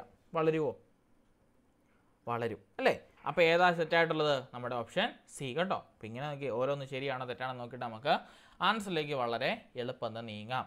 ഓക്കെ അടുത്ത ക്വസ്റ്റ്യൻ അഞ്ചക്കമുള്ള ഏറ്റവും ചെറിയ ഒറ്റ സംഖ്യയിൽ നിന്ന് നാലക്കമുള്ള ഏറ്റവും വലിയ ഇരട്ട സംഖ്യ കുറച്ചാൽ എത്ര കിട്ടും? നല്ലൊരു ക്വസ്റ്റ്യൻ അല്ലേ? അപ്പോൾ നോക്കിയേ അഞ്ചക്കമുള്ള ഏറ്റവും വലിയ ഒറ്റ സംഖ്യ ഏതാ? പറഞ്ഞു. അഞ്ചക്കമുള്ള ഏറ്റവും ചെറിയ ഒറ്റ സംഖ്യ ഏതാണ്? ഏ? ഞാൻ നിൽക്കട്ടെ. മൂന്നക്കമുള്ള ഏറ്റവും വലിയ സംഖ്യ ഏതാ? നോക്ക് പോട്ടെ പോട്ടെ. കൺഫ്യൂ കൺഫ്യൂഷൻ ഉള്ളവർക്ക് പറയാം. മൂന്നക്കമുള്ള ഏറ്റവും വലിയ സംഖ്യ ഏതാ? ഏറ്റവും വലിയ സംഖ്യ ഏതാ? തൊള്ളായിരത്തി തൊണ്ണൂറ്റൊമ്പത്. തൊണ്ണൂറ് അല്ലേ? അപ്പം മൂന്നക്കമുള്ള ആ ശരിയാ. അപ്പം ഞാൻ പറയാണ് മൂന്നക്കമുള്ള ഏറ്റവും ചെറിയ സംഖ്യ ഏതാ? ഏ മൂന്നക്കമുള്ള ഏറ്റവും ചെറിയ സംഖ്യ. ചെറിയ ചെറിയ സംഖ്യ. ഏ നൂറ്. അല്ലേ നൂറ്. നൂറാണ് ഏറ്റവും ചെറിയ സംഖ്യ തൊള്ളായിരത്തി തൊണ്ണൂറ് ഏറ്റവും വലുത്. അത് ഐഡിയ അറിയാലോ. അങ്ങനെ ഞാൻ ചോദിക്കുകയാണ് മൂന്നക്കമുള്ള ഏറ്റവും ചെറിയ ഒറ്റ സംഖ്യ ഏതാ? എന്ന് വെച്ചാൽ നമ്മൾ എന്നാ പറയും? നൂറാണ് ഏറ്റവും ചെറിയ ഒറ്റ സംഖ്യ എന്താണ് മൂന്നക്ക സംഖ്യ ആയിട്ട് വരുന്നത്. അപ്പം കൂടെ ഒന്ന് കൂട്ടി എത്ര കിട്ടും നമുക്ക്? നൂറ്റൊന്നാണ് ഏറ്റവും ചെറിയ ഒറ്റ സംഖ്യ വരേണ്ടത് അല്ലേ? അപ്പോൾ നോക്കി അഞ്ചക്കമുള്ള ഏറ്റവും ചെറിയ സംഖ്യ എത്രയായിരിക്കും വരേണ്ടത്? ഒന്ന് എഴുതിയിട്ട് നാല് പൂജ്യം കൊടുക്കണം. എത്രയാണ് വരുന്നത്? അങ്ങനെ കണ്ടുപിടിച്ചു. ഒന്ന് എഴുതിയിട്ട് നാല് പൂജ്യം കൊടുത്തേ എത്ര കിട്ടും നമുക്ക്? ഒറ്റ പത്ത് നൂറായിരം പതിനായിരം കിട്ടും അല്ലേ? അപ്പോൾ അഞ്ചക്കമുള്ള ഏറ്റവും ചെറിയ ഒറ്റ സംഖ്യ എടുക്കാൻ എടുക്കണം? അതിനോട് ഒന്ന് കൂട്ടണം. പതിനായിരത്തി ഒന്ന് ശരിയല്ലേ? പതിനായിരത്തി ഒന്നാണ് ഏറ്റവും ചെറിയ അഞ്ചക്കമുള്ള ഒറ്റ സംഖ്യ. അതിൽ നിന്ന് എന്താ ചെയ്യേണ്ടത്? നാലക്കമുള്ള ഏറ്റവും വലിയ ഇരട്ട സംഖ്യ കുറയ്ക്കണം. നമ്മൾ പഠിച്ചു മുമ്പേ പറഞ്ഞത് അല്ലേ ഏറ്റവും വലിയ ഇരട്ട ഏറ്റവും വലിയ മൂന്നക്ക സംഖ്യ തൊള്ളായിരത്തി തൊണ്ണൂറ്റൊമ്പതാണ് ഏറ്റവും വലിയ എന്താണ്? നാലക്ക സംഖ്യ വരുന്നത് ഒമ്പതിനായിരത്തി തൊള്ളായിരത്തി ഒമ്പതാണ് അപ്പോൾ ഒമ്പതിനായിരത്തി തൊള്ളായിരത്തി തൊണ്ണൂറ്റി ഒമ്പതിന് തൊട്ട് പുറകിലുള്ള ഇരട്ട സംഖ്യ ആരാണ്? ഇരട്ട സംഖ്യ ആരാ? ഒമ്പതിന് തൊട്ടുള്ള നമ്പർ ഇട്ടാൽ മതി. ആരാ? ഒമ്പതിനായിരത്തി തൊള്ളായിരത്തി തൊണ്ണൂറ്റി എട്ട് ഇവനെ ഞാൻ കുറച്ചേ. ഒമ്പതിനായിരത്തി തൊള്ളായിരത്തി തൊണ്ണൂറ്റി എട്ടാം കുറയ്ക്കണം. അല്ലേ? എന്നാ എടുക്കണം? ഒന്നീന്ന് എട്ട് പോവുകയോ? ഇല്ല. കടമെടുക്കണം. ഇവിടെ ഒന്നും കടമെടുക്കാനില്ല. ഇവിടുന്ന് കടമെടുക്കണം. ഒമ്പത് ഒമ്പത് ഒമ്പത്. ഓക്കെ. ഒന്നിൽ നിന്ന് എടുത്താൽ ഒമ്പത് ഒമ്പത് ഒമ്പത്. ഇവിടെ തന്നെ വരും. പതിനൊന്ന് വരും അല്ലേ പതിനൊന്ന് ഒമ്പത് എത്ര കിട്ടും? മൂന്ന് കിട്ടും. ഇവിടെ എല്ലാം പൂജ്യം. ഉത്തരം എത്ര വരും? മൂന്ന്. ഉണ്ടോ? ആൻസർ മൂന്ന്. ഉണ്ടോ? ഇതൊക്കെ വളരെ എളുപ്പം കണ്ടുപിടിക്കുന്ന ക്വസ്റ്റൻ അല്ലേ? ഇങ്ങനത്തെ ക്വസ്റ്റൻ ഒക്കെ നിങ്ങൾ നോക്കിയിട്ട് വേണം പോകാൻ ഒഴിവാക്കില്ല കേട്ടോ. ഇങ്ങനത്തെ ക്വസ്റ്റ്യൻ ഏറ്റവും വലിയ സംഖ്യ ഇരട്ട സംഖ്യ ഒറ്റ സംഖ്യ. ഇങ്ങനെ പല ക്വസ്റ്റ്യൻസ് ഇങ്ങനെ ചോദിച്ചിട്ടുണ്ട്. എല്ലാം ഇമ്പോർട്ടന്റ് ആണ്. നോക്കണം കേട്ടോ. ജസ്റ്റ് ഇങ്ങനെ നൂറിന്റെയും തൊള്ളായിരത്തി തൊണ്ണൂറ്റൊമ്പതിന്റെയും ഒക്കെ കേസുകൾ ആലോചിച്ചിരുന്നാൽ മതി. രണ്ട് കുറച്ചാൽ എന്താണ്? ഒന്ന് കുറച്ചാൽ നമുക്ക് ഇരട്ട സംഖ്യ കിട്ടും. ഇല്ല ഏത് നമുക്ക് ഒന്നോ രണ്ടോ ഒക്കെ കൂട്ടുകയും കുറയ്ക്കുകയും ചെയ്ത് നമുക്ക് ഒറ്റ സംഖ്യ ഇരട്ട സംഖ്യയൊക്കെ മാറ്റാനും മറിക്കാനും എല്ലാം പറ്റും. അപ്പോൾ തെറ്റിക്കാതെ കയ്യിലുള്ള മാർക്കാണ് ഇത് നാം കളയാതെ നോക്കണം കേട്ടോ. അടുത്തത് ഇ എൽ പി എസ് എന്നതിനെക്കുറിച്ച് ശരിയല്ലാത്ത പ്രസ്താവന ഏത്? എന്താണ് ഇ എൽ പി എസ് എന്ന് പറഞ്ഞാൽ? ഫുൾ ഫോം എന്നെ അറിയാവോ? പറഞ്ഞു കേട്ടുള്ള എന്താ ഇ എൽ പി എസ് എന്ന് പറഞ്ഞാൽ? ഇ എന്ന് പറഞ്ഞെന്നാ ഇ എന്ന് പറഞ്ഞെന്നാ ഇ എന്ന് പറഞ്ഞാൽ? ആ എക്സ്പീരിയൻസ് ശരിയാണ്. എൽ എന്ന് പറഞ്ഞാലോ? ലാംഗ്വേജ് പി എന്ന് പറഞ്ഞാലോ? ആ പി എന്ന് പറഞ്ഞാലോ? പിക്ചർ എസ് എന്ന് പറഞ്ഞാലോ? ആ സിമ്പിൾ ഓക്കെ അതറിയാം. ഇത് എന്നാ സാധനം? ഈ എൽ പി എസ് എന്നാ സാധനം? ഏ അതറിയത്തില്ല. ആ നല്ലതാണ് കേട്ടോ. അതായത് നമ്മൾ ഗണിത ക്ലാസ്സുകൾ ക്ലാസ്സിൽ അവതരിപ്പിക്കുമ്പോൾ അല്ലെങ്കിൽ ഗണിതം നമ്മൾ ക്ലാസ്സിൽ പഠിപ്പിക്കുമ്പോൾ ഇ എൽ പി എസിലൂടെ വേണം കടന്നു പോകാൻ എന്നാണ് ഗണിത എന്താണ് സൈക്കോളജിസ്റ്റുകൾ പറയുന്നത്. അതായത് നമ്മളിപ്പം സയൻസിനാണ് നമ്മൾ പോകുന്ന മാർഗവേദ സയൻസിനാണെങ്കിൽ നമ്മൾ പോകുന്ന മാർഗവേദ നമ്മൾ പുതിയ അപ്ഡേറ്റ് ആയിട്ടൊരു മാർഗം. ആ ഫൈവ് ഇ അല്ലേ? ആ engage explore explain extend evaluate എന്നുള്ള അഞ്ച് ഇയിലൂടെയാണ് നമ്മൾ നമ്മുടെ സയൻസ് അല്ലെങ്കിൽ ശാസ്ത്ര വിഷയങ്ങൾ പോകുന്നത് ഇംഗ്ലീഷും മലയാളം ഒക്കെ ആണെങ്കിലോ നമ്മൾ ഗ്രൂപ്പായിട്ടൊക്കെ തിരിച്ച് ലൗഡ് റീഡിങ്ങും അതുപോലെ തന്നെ സൈലന്റ് റീഡിങ്ങും അതുപോലെ തന്നെ ചെറിയ ചെറിയ ഗ്രൂപ്പ് പ്രവർത്തനങ്ങളൊക്കെ ആയിട്ടാണ് നമ്മൾ പോകുന്നത്. ഇനി ഇംഗ്ലീഷ് ആണെങ്കിൽ നമ്മൾ എൽ എസ് ആർ ഡബ്ല്യു അല്ലേ? നാല് നാല് സ്കിൽസിനും ആ മലയാളത്തിനും എൽ എസ് ആർ ഡബ്ല്യു അല്ലേ? ലിസണിങ് സ്പീക്കിങ് റീഡിങ് റൈറ്റിംഗ് ഇതിനാണ് നമ്മൾ ഇമ്പോർട്ടൻസ് കൊടുക്കുന്നത്. എന്ന് പറഞ്ഞതുപോലെ തന്നെ നമ്മുടെ ഗണിതം പഠിപ്പിക്കേണ്ട രീതിയാണ് ഈ എൽ പി എസ് അല്ലെങ്കിൽ എക്സ്പീരിയൻസ് ആദ്യം കൊടുക്കണം. നിത്യയുമായിട്ടുള്ള എക്സ്പീരിയൻസ് കൊടുക്കണം. അത് ലാംഗ്വേജിലൂടെ നമ്മൾ എക്സ്പ്രസ് ചെയ്യണം. അതിന്റെ പിക്ചർ കാണിക്കണം. അതിന്റെ സിമ്പിൾ കാണിക്കണം. ഇങ്ങനെയാണ് നമ്മൾ എന്ത് പഠിപ്പിക്കേണ്ടത്? ഗണിതം ക്ലാസ്സിൽ അവതരിപ്പിക്കേണ്ടത്. അതിനെക്കുറിച്ച് ശരിയല്ലാത്ത പ്രസ്താവന ഏതെന്നാണ് ചോദിച്ചിരിക്കുന്നത് അപ്പോൾ നോക്കിയേ ഗണിതാശയ രൂപീകരണ ഘട്ടങ്ങളാണ്. ശരിയല്ലേ പറഞ്ഞത്? ഇ എൽ പി എസ് ആണ് നമ്മുടെ ഗണിതത്തെ കുട്ടികൾ പഠിപ്പിക്കേണ്ട ആശയം രൂപീകരിക്കുന്ന ഘട്ടം. അപ്പോൾ അത് ശരിയാണ്. അടുത്ത നോക്കിയേ ആശയത്തെ സ്വന്തം ഭാഷയിൽ പ്രകടിപ്പിക്കുവാൻ കഴിയുന്നു. ശരിയല്ലേ? ഇവിടെ എന്തുണ്ട്? എൽ ഫോർ എന്നതാ ലാംഗ്വേജ് അപ്പോൾ ആരുടെ ഭാഷയിലാണ് നമ്മൾ എക്സ്പ്രസ് ചെയ്യുന്നത് നമ്മുടെ എക്സ്പീരിയൻസ് നമ്മുടെ ലാംഗ്വേജിലാണ് നമ്മൾ എന്ത് ചെയ്യുന്നത്? എക്സ്പ്രസ് ചെയ്യുന്നത്. അപ്പോൾ ആ പോയിന്റും ശരിയാണ്. ആശയത്തെ ചിത്രീകരിക്കുന്നു. നോക്കിയേ ഇവിടെ പി എന്നെ കിടക്കുന്നത്? പിക്ചോറിയൽ അല്ലെങ്കിൽ പിക്ചർ അല്ലേ? അപ്പോൾ ആശയത്തെ ചിത്രീകരിക്കുന്നു. ശരിയാണ്. അടുത്തത് മത്സര സ്വഭാവം വളർത്തുന്നു. അതെവിടെയെങ്കിലും ഉണ്ടോ? മത്സര സ്വഭാവം വളർത്തുന്നുണ്ട്? ഇതിനകത്ത് എവിടെയെങ്കിലും ഇല്ല. അപ്പോൾ അതിനെക്കുറിച്ച് ശരിയാത്ത പ്രസ്താവന ഏതാണ്? നമ്മുടെ ഓപ്ഷൻ ഡി കണ്ടോ? ഇങ്ങനെ ഓരോന്നും വെച്ച് നോക്കി അങ്ങ് ചെയ്താൽ മതി കേട്ടോ. അടുത്ത ക്വസ്റ്റ്യൻ നോക്കിയേ. പി എൽ പി എസ് എന്നാ നോക്കിയിരിക്കണം. എക്സ്പീരിയൻസ് ലാംഗ്വേജ് പിക്ചർ സിമ്പിൾ കേട്ടോ?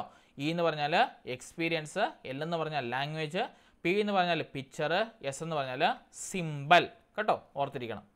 അടുത്ത നോക്കിയേ.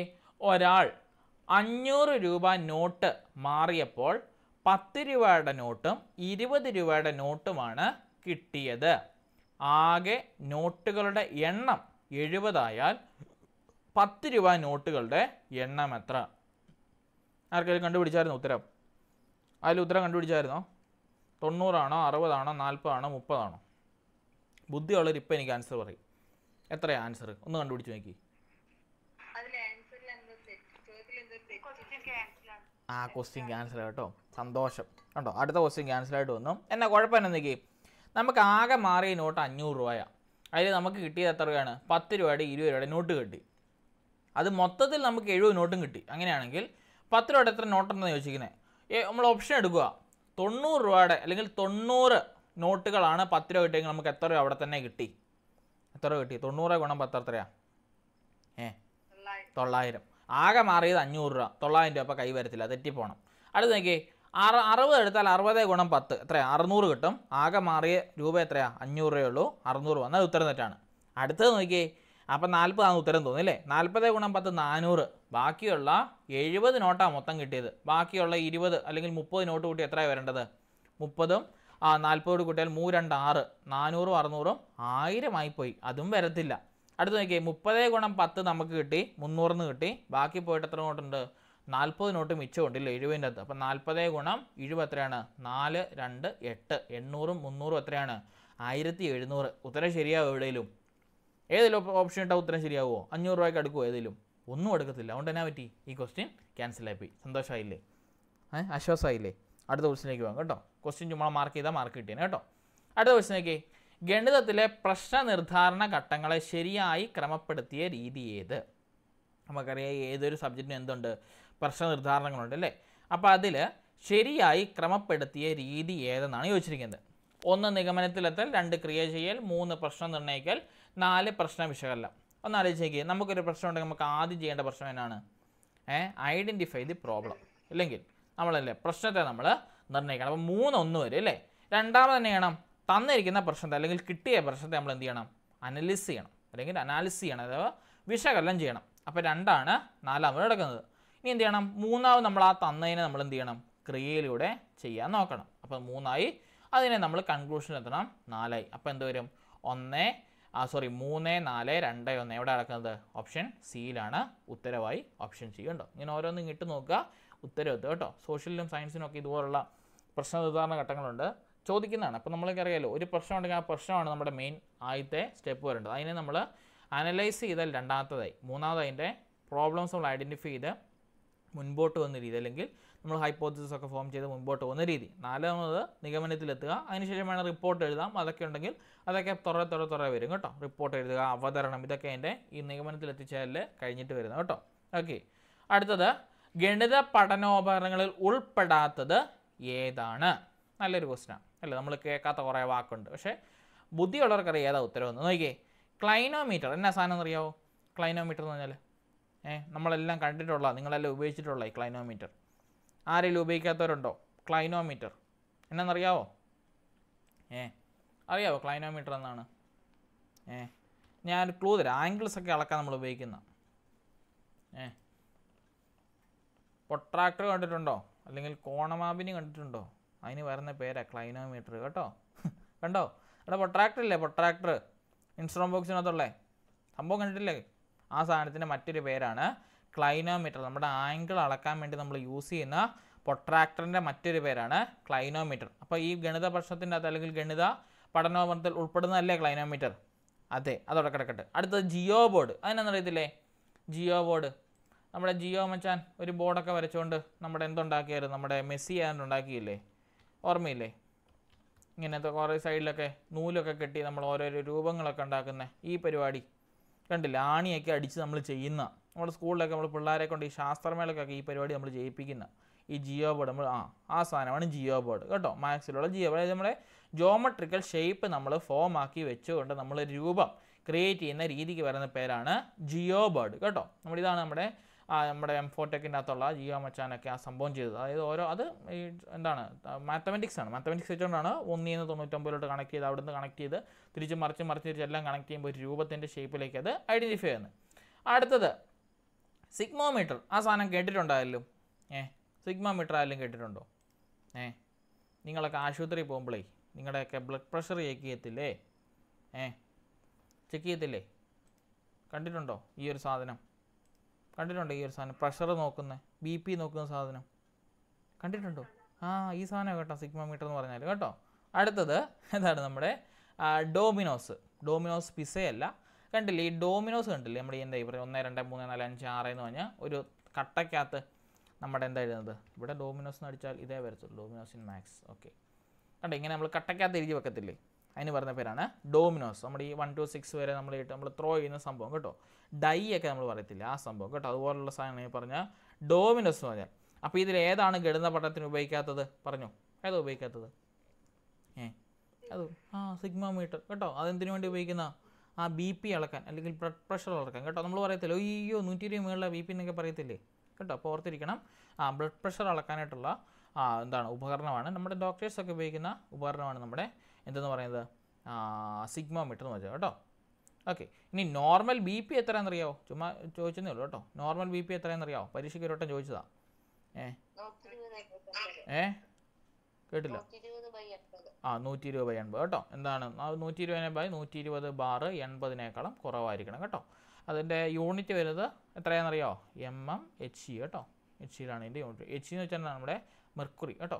മില്ലിമീറ്റർ പെർ ആ മെർക്കുറിയിലാണ് ഇതിന്റെ വാല്യൂ വരുന്നത് കേട്ടോ. മറന്നുപോലെ നൂറ്റി ഇരുപത് ബൈ എൺപത് നോർമൽ ആൾക്കാരായിട്ടുള്ള ആൾക്കാരുടെ എന്താ ബ്ലഡ് പ്രഷർ എന്ന് പറയുന്നത് കേട്ടോ. ഓക്കെ. അടുത്ത ക്വസ്റ്റ്യൻ താഴെ കൊടുത്തിരിക്കുന്നതിൽ തുറന്ന ചോദ്യവുമായി പ്രത്യേകതയുള്ളതേത് ഓക്കെ സ്ക്രീൻ സ്റ്റക്കായി തോന്നുന്നു. ഓക്കെ താഴെ കൊടുത്തിരിക്കുന്നതിൽ തുറന്ന ചോദ്യവുമായി ബന്ധമില്ലാത്തത് ചെയ്ത് കേട്ടോ. തുറന്ന ചോദ്യമായിട്ട് ബന്ധമില്ലാത്ത കേട്ടോ. ഓക്കെ അപ്പോൾ എന്താണ് തുറന്ന ചോദ്യം എന്ന് വെച്ചാൽ എന്താ? അത് ആദ്യം ഐഡന്റിഫൈ ചെയ്യണമല്ലോ. എന്താ തുറന്ന ചോദ്യം വെച്ചാൽ? എന്താ തുറന്ന ചോദ്യം അടഞ്ഞ ചോദ്യം? ഞാൻ ഒരുപാട് വട്ടം പറഞ്ഞതാണ് ഓപ്പൺ ഓക്കെ ഒരു ഒരു ചോദ്യം ചോദിച്ചാൽ അതിന് ഒരുപാട് ഉത്തരങ്ങൾ വരുന്നതാണ് തുറന്ന ചോദ്യം. അടഞ്ഞ ചോദ്യം എന്ന് പറഞ്ഞാലോ? ഈ നമ്മൾ ഈ കാണുന്ന ക്വസ്റ്റ്യൻസ് അല്ല ഒരു ചോദ്യത്തിന് ഒരു ഉത്തരവേ എടുത്തുള്ളൂ അപ്പോൾ അതുമായിട്ട് ബന്ധമില്ലാത്ത പ്രസ്താവന ഏത്? തുറന്നുമായിട്ട് ബന്ധമില്ലാത്ത. നോക്കിയേ ചിന്തയെക്കുറിച്ചുള്ള ചിന്ത വരുമോ തുറന്ന ചോദ്യത്തിനകത്ത് ഏ? വരത്തില്ലേ? വരും. അതായത് നമ്മളൊരു കാര്യത്തെ പറ്റി ചിന്തിച്ചാൽ ഓ അതങ്ങനല്ലേ ഇതിങ്ങനല്ലേ അങ്ങനെ വേണേൽ ചിന്തിക്കാമല്ലോ എന്നൊക്കെ പറഞ്ഞാൽ നമുക്ക് ഉത്തരങ്ങൾ വേണേൽ അതും ഇതുമൊക്കെ ആയിപ്പോ അല്ലേ? അപ്പോൾ അതുള്ളതാണ് അടുത്ത വിവർജന ചിന്ത. ഈ എന്താ ഈ ചിന്ത ഈ ചിന്തയെക്കുറിച്ചുള്ള ചിന്തയാണെങ്കിൽ അവിടെ എന്ത് ചെയ്യണം? നമ്മുടെ ഡൈവർജന്റെ അകത്തും ചിങ്ക് ചെയ്ത് പോകണം അല്ലേ? അങ്ങോട്ട് പോയി ഇങ്ങോട്ട് പോയി തിരിച്ച് മറിച്ചൊക്കെ നമ്മൾ ചെയ്യുമ്പം അവിടെ വിവർജന ചിന്തയും വരും. അടുത്തത് ആവശ്യമായിട്ടുള്ള ദത്തങ്ങളുണ്ടാവും. അതിന്റെ ആവശ്യമുണ്ടോ ഈ പറഞ്ഞ തുറന്ന എന്താ ഈ തുറന്ന ചോദ്യങ്ങൾക്ക്? അതിന്റെ ആവശ്യമുണ്ടോ? ഇല്ല. നമുക്കറിയാവുന്ന കാര്യങ്ങളാണ് പിന്നെ അവിടെ നമുക്ക് ഈ പറഞ്ഞ എന്താ ഡേറ്റ തരേണ്ട ആവശ്യമില്ല. ശരിയല്ലേ? അടുത്ത വ്യത്യസ്തമായിട്ടുള്ള മാർഗങ്ങളുണ്ടായിരിക്കും അത് ഒബ്വിയസ്ലി ശരിയല്ലേ ഒരു ക്വസ്റ്റ്യൻ ഒബ്വിയസ്ലി എന്താണ്? വ്യത്യസ്തങ്ങളായിട്ടുള്ള ഒരുപാട് ആൻസേഴ്സ് കാണും. അതുകൊണ്ട് ആ പോയിന്റ് ശരിയാണ്. അപ്പോൾ ഏതാണ് തെറ്റായിട്ടുള്ളത്? ഓപ്ഷൻ സി ഓപ്ഷൻ സി തെറ്റാണ് കേട്ടോ. ഓക്കെ അടുത്ത നോക്കിയേ. ജിയോ ജിബ്ര രൂപപ്പെടുത്തിയത് ആര്? ആരാ രൂപപ്പെടുത്തിയത്? അറിയാവോ. എന്താ ജിയോ ജിബ്ര എന്നറിയോ പഠിപ്പിച്ച? നിങ്ങളെ ഞാൻ പഠിപ്പിച്ച. അഞ്ചാം ക്ലാസ്സിലെ ടെക്സ്റ്റ് ബുക്കിനകത്ത് വളരെ എന്താ പറയുക വെണ്ടയ്ക്ക മുഴുവി കൊടുത്തിട്ടുണ്ട്. ഞാൻ കാണിച്ചു തരാം. അഞ്ചാം ക്ലാസ്സിൽ രണ്ടാമത്തെ പാഠഭാഗത്തിൽ കണ്ടോ? ഇവിടെ നമ്മൾ പഠിപ്പിക്കാൻ കണ്ടോ? ജിയോ ജിബ്ര സ്കൂൾ തലം മുതൽ ഗണിത പഠനത്തിന് ഏറെ സഹായമായ ഒരു സോഫ്റ്റ്വെയറാണ് ജിയോ ജിബ്ര വിവിധ ഓപ്പറേറ്റിംഗ് സിസ്റ്റങ്ങളിൽ പ്രവർത്തിക്കുന്ന തരത്തിൽ ഈ സോഫ്റ്റ്വെയർ ലഭ്യമാണ്. ഗ്ലോ ലിനക്സിൽ പ്രവർത്തിക്കുന്ന ജിയോ ജിബ്ര ഫോർ ആണ് നാം ഇന്ന് ഉപയോഗിക്കുന്നത്. വേണമെങ്കിൽ ചോദിക്കാം. നമ്മൾ ഏത് ജിയോ ജിബ്ര ആണ് യൂസ് ചെയ്യുന്നത് വേണം ചോദിക്കാം അസ്ത്രയിലുള്ള സാൽബ്രിഡ് യൂണിവേഴ്സിറ്റിയിലെ അധ്യാപകനായിരുന്ന മക്സ് ഹോർവൻ വാക്സൺ രണ്ടായിരത്തി ഒന്നിൽ രൂപപ്പെടുത്തിയതും ഇപ്പോഴും മെച്ചപ്പെടുത്തിക്കൊണ്ടിരിക്കുന്നതുമായ ഗണിത സോഫ്റ്റ്വെയർ ആണ് ജിയോജിബ്ര ഇത് പൂർണമായും സ്വതന്ത്ര സോഫ്റ്റ്വെയർ ആണ് ഗണിത സോഫ്റ്റ്വെയർ ഗണത്തിൽപ്പെടുന്നതാണ്. മെക്കൽ ബെച്ചാഡ് എന്ന സ്കൂൾ അധ്യാപകനാണ് ഈ സോഫ്റ്റ്വെയർ വികസിപ്പിക്കുന്നതിൽ പ്രധാന പങ്ക് വഹിച്ച വ്യക്തി. കണ്ടോ ഇവിടെ ആൾക്കാരുടെ എല്ലാം പേരും കാര്യങ്ങളും എല്ലാം പറയുന്നുണ്ട്. അപ്പോൾ ആരാണ്? ഓപ്ഷൻ നോക്കി ആരാണ്? നോക്കിയേ ആരാണ്? വായിച്ചതിനകത്ത് വല്ല ആൾക്കാരുണ്ടായിരുന്നോ? ഏ ആ ഹോഗൻ വാട്ടർ. കേട്ടോ? ആ മാർക്കസ് ഹോഗൻ പറഞ്ഞു. നമ്മൾ അഞ്ചാം ക്ലാസ്സിലുള്ള സംഭവമുള്ള ടെക്സ്റ്റ് ബുക്ക് വായിച്ചാലുള്ള ബാക്ക് ബാക്കറ്റ് വായിച്ച ഉത്തരം കിട്ടുമെന്ന് ഞാൻ പറഞ്ഞത്. പല ആവർത്തി. അപ്പോൾ ഓർത്തിരിക്കണം. മാർക്കസ് ഹോഗൻ വാട്ടറാണ് ഇതിന്റെ ആ രൂപപ്പെടുത്തി എടുത്ത വ്യക്തി കേട്ടോ. മറന്നു പോകരുത്. പഠിക്കണം കേട്ടോ. അടുത്ത ക്വസ്റ്റൻ നോക്കി ഏഴ് എഴുപത്തേഴ് എഴുന്നൂറ്റി എഴുപത്തേഴ് എന്നിങ്ങനെ എഴുതി പോയാൽ പത്ത് സംഖ്യകൾ വഴി എഴുതി എല്ലാ സംഖ്യകളുടെ തുക കണ്ടാൽ അവയുടെ നൂറിന്റെ സ്ഥാനത്ത് വരുന്ന അക്കമേത് കണ്ടുപിടിച്ചായിരുന്നോ? ഏ? കണ്ടുപിടിച്ചായിരുന്നോ? കണ്ടുപിടിക്കാൻ വേറെ മാർഗമൊന്നുമില്ല. എഴുതി കൂട്ടണം എന്ന് ചിന്തിക്കുന്നവർ കാണും. അല്ലെങ്കിൽ ഏഴ് ലെവലിൽ എഴുതുമ്പോൾ പത്ത് ഏഴ് എഴുപത് പൂജ്യം ശിഷ്ടം ഏഴ് വരും. പിന്നെ ഒമ്പത് ഏഴ് ഒന്നും പത്ത് ഏഴിന്റെ ഏഴ് ശിഷ്ടം പൂജ്യം വരും. പിന്നെ എട്ട് ഒന്ന് ഒമ്പത് ഏഴ് വരും. അറുപത്തി മൂന്നിന് മൂന്ന് വരും. മൂന്നിലോട്ട് ഉത്തരം വേണേൽ പോകുന്നവരും കാണും. ഏഹ് പല ഉത്തരങ്ങൾ വരുന്ന കാണും. എങ്ങനെ നിങ്ങൾ കണ്ടുപിടിച്ചു? അതാദ്യം പറ. നിങ്ങൾ ഈ ക്വസ്റ്റ്യൻ കണ്ട് നിങ്ങൾ എങ്ങനെ കണ്ടുപിടിക്കാൻ പോകുന്നത് അത് പറ. എന്നിട്ട് ഞാൻ എളുപ്പവഴി പറഞ്ഞുതരാം. ഏഹ് നിങ്ങൾ എങ്ങനെയാണ് കണ്ടുപിടിക്കാൻ പോകുന്നത് പറഞ്ഞേ. ഏഹ് കണ്ടുപിടിക്കത്തില്ലേ നിങ്ങൾ? അത് ഒഴിവാക്കി കളയുമോ എന്നാ ക്വസ്റ്റ്യൻ മനസ്സിലായോ? ഏഴ് എഴുപത്തേഴ് എഴുന്നൂറ്റി എഴുപത്തേഴ് എന്നിങ്ങനെ എന്താണ് പത്ത് സംഖ്യകൾ വരെ എഴുതിയാൽ എല്ലാ സംഖ്യകളുടെ തുക കണ്ടാൽ അവയുടെ നൂറിന്റെ അക്കത്ത് വരുന്ന സ്ഥാനത്തിന്റെ തുക എത്ര ചോദിക്കുന്നത് നമ്മൾ സിമ്പിളായിട്ട് ചെയ്യുന്ന പോലെ ചെയ്തു. നോക്കി. ഏഴ് ഏഴ് പത്തെണ്ണം ഞാൻ എഴുതും കേട്ടോ. മൂന്ന് നാല് അഞ്ച് ആറ് ഏഴ് എട്ട് ഒമ്പത് പത്ത്. തൊട്ട് താഴെ ഒമ്പതെണ്ണം വരണം. ഒന്ന് രണ്ട് മൂന്ന് നാല് അഞ്ച് ആറ് ഏഴ് എട്ട് ഒമ്പത്. തൊട്ട് താഴെ ആ എട്ടെണ്ണം അല്ലേ? ഒന്ന് രണ്ട് മൂന്ന് നാല് അഞ്ച് ആറ് ഏഴ് എട്ട്. തൊട്ട് താഴെ ഏഴെണ്ണം. ഒന്ന് രണ്ട് മൂന്ന് നാല് അഞ്ച് ആറ് ഏഴ്. താഴെ ആറെണ്ണം. മൂന്ന് നാല് അഞ്ച് ആറ്. താഴെ അഞ്ചെണ്ണം. ഒന്ന് രണ്ട് മൂന്ന് നാല് അഞ്ച്. താഴെ നാലെണ്ണം. ഒന്ന് രണ്ട് മൂന്ന് നാല്. മൂന്നെണ്ണം. ഒന്ന് രണ്ട് മൂന്ന്. രണ്ടെണ്ണം. ഒന്ന് രണ്ട്. താഴെ ഒരെണ്ണം. ഓക്കെ. ഇങ്ങനെയല്ലേ ചെയ്യാൻ പറഞ്ഞവർ ചെയ്തു നോക്കിയേ. ഇവിടെ നോക്കിയേ ഇവിടെ എത്ര ഏഴുകൾ നമ്മൾ കൂട്ടും? ഈ ഇങ്ങേയറ്റത്ത് എത്ര ഏഴ് കൂട്ടും? ഏ ഇങ്ങേറ്റത്ത് എത്ര ഏഴ് കൂട്ടും? പത്തെണ്ണം കൂട്ടും അല്ലേ? പത്തിന്റെ ഏഴിന്റെ അകത്ത് നമ്മൾ എന്തെടുക്കും പൂജ്യം എടുക്കും. ഏഴ് എന്നായിട്ട് പോവും? ശിഷ്ടമായിട്ട് പോകും അല്ലെങ്കിൽ ക്യാരി ഓവറായിട്ട് മാറും. അപ്പോൾ നോക്കിയേ അടുത്തതിന്റെ അകത്ത് എത്ര ഏഴ് കൂട്ടാനുണ്ട്? എത്ര ഏഴ് കൂട്ടാനുണ്ട്? ഒമ്പത് ഏഴും മുകളിൽ ശിഷ്ടം കിടക്കുന്ന ഒരു ഏഴും കൂട്ടി എത്ര വരും? പത്ത് ഏഴ് എഴുപതിന്റെ പൂജ്യം വരും. വീണ്ടും ക്യാരി ഓവർ എത്ര വരും? ഏഴ് വരും. ശരിയല്ലേ? അപ്പോൾ അടുത്ത നോക്കിയേ അടുത്തതിന്റെ അകത്ത് എത്ര ഏഴ് കൂട്ടാനുണ്ട്? ഇവിടെ പത്തായിരുന്നു ഇവിടെ ഒമ്പത് അടുത്തതിന് എത്ര വരും? ആ എത്ര വരും? എട്ട് ഒന്നും ഒമ്പത് ഏഴ് വരും അല്ലേ? ഒമ്പത് ഏഴ് എത്രയാണ്? അറുപത്തി മൂന്ന് അറുപത്തി മൂന്നിന് മൂന്ന് വരും. ശിഷ്ടം ആറാകും. അപ്പം മൂന്നുള്ള സ്ഥാനത്ത് വരുന്ന അക്ക വേദ അക്ക വേദ മൂന്ന്. കണ്ടോ? ഇങ്ങനെ വേണേൽ സിമ്പിളായിട്ട് കണ്ടുപിടിക്കുക അല്ലെങ്കിൽ ഞാൻ പറഞ്ഞില്ലേ മനസ്സിൽ കൂട്ടിയാൽ മതി. എന്താ ചെയ്യേണ്ടത്? നമുക്കറിയാലോ. ഇങ്ങനെ നമ്മൾ എഴുതി വരുമ്പം താട്ട് താട്ട് ആട്ട് ആട്ട് എഴുതി വരുമ്പോൾ എത്രയാണ് വരേണ്ടത്? പത്ത് ഏഴുകൾ നമ്മൾ ആദ്യം കൂട്ടും. അപ്പോൾ അതിന്റെ ശിഷ്ടം എന്താണ്? പൂജ്യം എഴുതി ശിഷ്ടം ഏഴ് മേളിപ്പോവും പിന്നെ അടുത്ത കൂട്ടാനുള്ളത് ഒമ്പത് ഏഴാണ് ശിഷ്ടം ഒന്നുകൂടി കൂട്ടി പത്ത് ഏഴോടെ വീണ്ടും വരും. അപ്പോൾ അതിന്റെയും എത്രയാണ്? പത്തിന്റെ പൂജ്യം എഴുതിയിട്ട് എഴുപതിന്റെ പൂജ്യം എഴുതി നമ്മൾ ഏഴ് റിമൈൻഡർ പോയി. അടുത്ത കൂട്ടാനുള്ളത് എട്ട് ഏഴാണ് കൂട്ടത്തിൽ റിമൈൻഡർ അടക്കുന്ന ഒരു ഏഴ് കൂട്ടിയാൽ ഒമ്പത് ഏഴ് അറുപത്തി മൂന്ന് അതിന്റെ മൂന്നേ വരത്തുള്ളൂ. സോ എത്രയാണ് ആൻസർ വേണ്ടത്? ഓപ്ഷൻ സി കേട്ടോ. ഇങ്ങനെ മനസ്സിലാണെങ്കിലും കാൽക്കുലേറ്റ് ചെയ്യും കേട്ടോ. പാടുള്ള ഒരു ജസ്റ്റ് ഒരു രണ്ട് സെക്കൻഡ് എടുത്ത് ഇങ്ങനെ പെട്ടെന്ന് എഴുതി ചെയ്താൽ മതി കേട്ടോ. നമുക്ക് ഉത്തരം പടയെന്ന് കിട്ടും കേട്ടോ. ഒഴിവാക്കി കളയരുത്. കണ്ട് ഇവിടെ ഒരു കൊച്ചി ചെയ്ത് ഒഴിവാക്കി പോയി കേട്ടോ. ഈ കൊച്ചു കണ്ടോ? ചെയ്ത് ചെയ്ത് ചെയ്ത് ക്വസ്റ്റിന് അവസാനം പട്ട് പിടിച്ചിട്ട് കൊച്ചു നിർത്തിയിട്ട് പോയി. കേട്ടോ പല ആവർത്തി ചെയ്താണ് പക്ഷെ നടന്നില്ല കേട്ടോ. ഓക്കെ. അടുത്ത ക്വസ്റ്റ്യൻ നോക്കിയേ. ഒന്ന് മുതൽ തൊണ്ണൂറ്റമ്പത് വരെയുള്ള സംഖ്യകളിൽ ഏതക്കമാണ് ഏറ്റവും കുറവ് എണ്ണം ആവർത്തിക്കുന്നത്? നല്ലൊരു ക്വസ്റ്റ്യനാണ് റിപ്പീറ്റ് ആയിട്ട് വേണേൽ ചോദിക്കാൻ സാധ്യതയുള്ളതാണ് ഒന്ന് മുതൽ തൊണ്ണൂറ്റമ്പത് വരെയുള്ള സംഖ്യകളിലെ ഏതക്കമാണ് ഏറ്റവും കുറവ് എണ്ണം ആവർത്തിക്കുന്നത്? ഏതാണെന്നറിയാവോ? ഒന്നാണോ പൂജ്യമാണോ ഒമ്പതാണോ അഞ്ചാണോ? ഏ? ആലോചിച്ച് നോക്കി. ഏത് സംഖ്യയാണ് ഏറ്റവും കുറവ് തവണ ആവർത്തിക്കുന്നത്. ഏ? അറിയാവോ? അഞ്ച്. അഞ്ചല്ല. പൂജ്യം. കേട്ടോ ഒന്ന് നോക്കിയേ. പത്ത് ഇരുപത് മുപ്പത് നാൽപ്പത് അമ്പത് അറുപത് എഴുപത് എൺപത് തൊണ്ണൂറ്. അത്രയത്തിനകത്തല്ലേ പൂജ്യമുള്ളൂ അപ്പോൾ മൊത്തം എത്ര പൂജ്യങ്ങളുണ്ട്? ഒമ്പത് പൂജ്യങ്ങളേ ഉള്ളൂ. പക്ഷേ ബാക്കിയുള്ള ഒന്നെടുത്താലോ ഒന്ന് വരും. പതിനൊന്ന് പന്ത്രണ്ട് പതിമൂന്ന് പതിനാല് പതിനഞ്ച് പതിനാറ് പതിനേഴ് വേണ്ടി പത്തൊമ്പത് ഇരുപത്തൊന്ന് മുപ്പത്തൊന്ന് നാൽപ്പത്തൊന്ന് അമ്പത്തൊന്ന് അറുപത്തൊന്ന് എഴുപത്തൊന്ന് എൺപത്തൊന്ന് തൊണ്ണൂറ്റൊന്ന്. മൊത്തം ഇരുപതൊന്നുകൾ വരും. ഒമ്പതാണെങ്കിലും ഒമ്പത് പത്തൊമ്പത് ഇരുപത്തൊമ്പത് മുപ്പത്തൊമ്പത് നാൽപ്പത്തൊമ്പത് അമ്പത്തൊമ്പത് അറുപത്തൊമ്പത് എഴുപത്തൊമ്പത് എൺപത്തൊമ്പത് തൊണ്ണൂറ് തൊണ്ണൂറ്റൊന്ന് തൊണ്ണൂറ്റി തൊണ്ണൂറ്റി തൊണ്ണൂറ് തൊണ്ണൂറ്റി തൊണ്ണൂറ്റാറ് തൊണ്ണൂറ്റി രണ്ട് തൊണ്ണൂറ്റൊമ്പത്. അങ്ങനെയും ഇരുപത് എണ്ണൽ സംഖ്യകൾ വരും. അഞ്ചാണെങ്കിൽ അഞ്ച് പതിനഞ്ച് ഇരുപത്തഞ്ച് മുപ്പത്തഞ്ച് നാൽപ്പത്തഞ്ച് ആ നാ അമ്പത് അമ്പത്തൊന്ന് അമ്പത്തിരണ്ട് അമ്പത്തിയൊന്ന് അമ്പത്തിനാല് അമ്പത്തഞ്ച് അമ്പത്താറ് അമ്പത്തേഴ് അമ്പത്തെട്ട് അമ്പത്തൊമ്പത് അറുപത്തി അഞ്ച് എഴുപത്തഞ്ച് എൺപത്തഞ്ച് തൊണ്ണൂറ്റഞ്ച്. ഇവിടെ എല്ലാം അഞ്ച് റിപ്പീറ്റ് ചെയ്യും. മൊത്തം ഇരുപത് അഞ്ചുകൾ വരും. അപ്പം ഏത് നമ്പറാണ് കുറവ് ആവർത്തിക്കുന്നത് ഏത് നമ്പറാണ് ഏ പൂജ്യം. കേട്ടോ? പൂജ്യമാണ് ഏറ്റവും കുറവ് ആവർത്തിക്കുന്നത് ബാക്കിയുള്ള എല്ലാ നമ്പറും അതായത് ഒന്ന് മുതൽ ബാക്കിയുള്ള എല്ലാ നമ്പറും എത്ര തവണ ആവർത്തിക്കുന്നുണ്ട്? ഞാൻ ഇപ്പോൾ പലവട്ടം പറഞ്ഞു എത്ര തവണ ആവർത്തിക്കുന്നുണ്ട്? ഇരുപത് തവണ. കേട്ടോ? ഇരുപത് തവണ ആവർത്തിക്കുന്നുണ്ട് കേട്ടോ. പൂജ്യം മാത്രം ഒമ്പത് തവണ ആവർത്തിക്കുന്നുള്ളൂ. കേട്ടോ? ഓർത്തിരിക്കണം. കേട്ടോ? പൂജ്യം മാത്രം ഒമ്പത് തവണ. ബാക്കിയുള്ള എല്ലാ നമ്പറും എത്ര തവണ ആവർത്തിക്കുന്നുണ്ട്? ആ നമ്മുടെ ഇരുപത് തവണ ആവർത്തിക്കുന്നുണ്ടെന്ന് ഓർത്തിരിക്കണം. അടുത്ത ക്വസ്റ്റ്യൻ ഉണ്ടോ വീണ്ടും സമ്മിന്റെ ഒരു ക്വസ്റ്റ്യൻ ആണ്. പഠിക്കേണ്ടതാണ് ഞാൻ പറഞ്ഞതാണ്. നോക്കിയേ ആദ്യത്തെ ഇരുപത് ഇരട്ട സംഖ്യകളുടെ തുകയും ആദ്യത്തെ ഇരുപത് എണ്ണൽ സംഖ്യകളുടെ തുകയും തമ്മിലുള്ള വ്യത്യാസം എത്രയാണ്? ഇക്വേഷനകത്ത് നമ്മൾ ഷോർട്ട് കോഡുകൾ പഠിപ്പിച്ചല്ലേ ആദ്യത്തെ എൻ എണ്ണൽ സംഖ്യകളുടെ തുക ആദ്യത്തെ എൻ ഒറ്റ സംഖ്യകളുടെ തുക ആദ്യത്തെ എൻ ഈവൻ നമ്പറിന്റെ തുക അല്ലെങ്കിൽ ലെറ്റർ സംഖ്യയുടെ തുക എന്നൊക്കെ പറഞ്ഞ് എഴുത്തെന്നാണ്. ഓർമ്മയുണ്ടോ ആർക്കെങ്കിലും ആർക്കെങ്കിലും ഓർമ്മയുണ്ടോ? ഉണ്ടവർ മുന്നോട്ട് വരിക പറയുക? ഉണ്ടോ ആർക്കെങ്കിലും ഏ അറിയത്തില്ലേ ഞാൻ പറഞ്ഞുതരാം. നോക്കിയേ ആദ്യത്തെ ഇക്വേഷൻ വേണം ആദ്യം എഴുതിക്കൂ. നിങ്ങൾ മറന്നു പോകുന്ന എനിക്കറിയാം മാത്സ് അല്ലേ? എന്നോട് കുറച്ച് പേര് സാറേ ഞങ്ങൾക്ക് മാത്സ് ഭയങ്കര പാടൊന്നും മനസ്സിലാകുന്നില്ല എന്നൊക്കെ പറഞ്ഞു. നമ്മൾ ചെയ്ത് പഠിക്കണമെന്ന് പറഞ്ഞു കേട്ടോ. സാരമില്ല പറഞ്ഞുതരാം. തരു തരു തരു തരേ. ഞാൻ ഇരുന്ന് പറഞ്ഞു ഞാൻ തന്നെ പഠിക്കുന്നുണ്ട് കുഴപ്പമില്ല. ഞാൻ പറഞ്ഞുതരാം. ഓക്കെ. ഓക്കെ ആദ്യത്തെ എഴുതിയെടുത്തു. എന്നിട്ട് നിങ്ങൾ തന്നെ ചെയ്യണം കേട്ടോ. ഇക്വേഷൻ മാത്രം ഞാൻ തരാം. എന്റെ ക്വസ്റ്റ്യൻ നിങ്ങൾ ചെയ്യണം കേട്ടോ. ഇക്വേഷൻ ഇതാണ് ആദ്യത്തെ ഓക്കെ ആദ്യത്തെ ബോർഡ് വളരെ നിങ്ങൾക്ക് സ്റ്റക്കാകുന്നുണ്ടോ ബോർഡ് തുള്ളി കളിക്കുന്നുണ്ടോ? ഓക്കെ ബോർഡ് തുള്ളി കളിക്കുന്നുണ്ടോ നിങ്ങൾക്ക്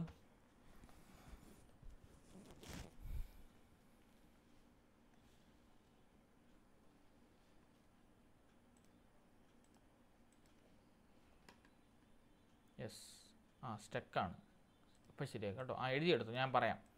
ആദ്യത്തെ ആദ്യത്തെ ആദ്യത്തെ എൻ എണ്ണൽ സംഖ്യകളുടെ തുക. ആദ്യത്തെ എൻ എണ്ണൽ സംഖ്യകളുടെ തുക. ആദ്യത്തെ എൻ എണ്ണൽ സംഖ്യകളുടെ തുക. എഴുതിയോ? ആദ്യത്തെ എൻ എണ്ണൽ സംഖ്യകളുടെ തുക. കണ്ടുപിടിക്കുന്ന equation N into N plus one by two കേട്ടോ? N into N plus one by two N into N plus one by two N into N plus one by two കേട്ടോ? എണ്ണൽ സംഖ്യകൾ. കേട്ടോ?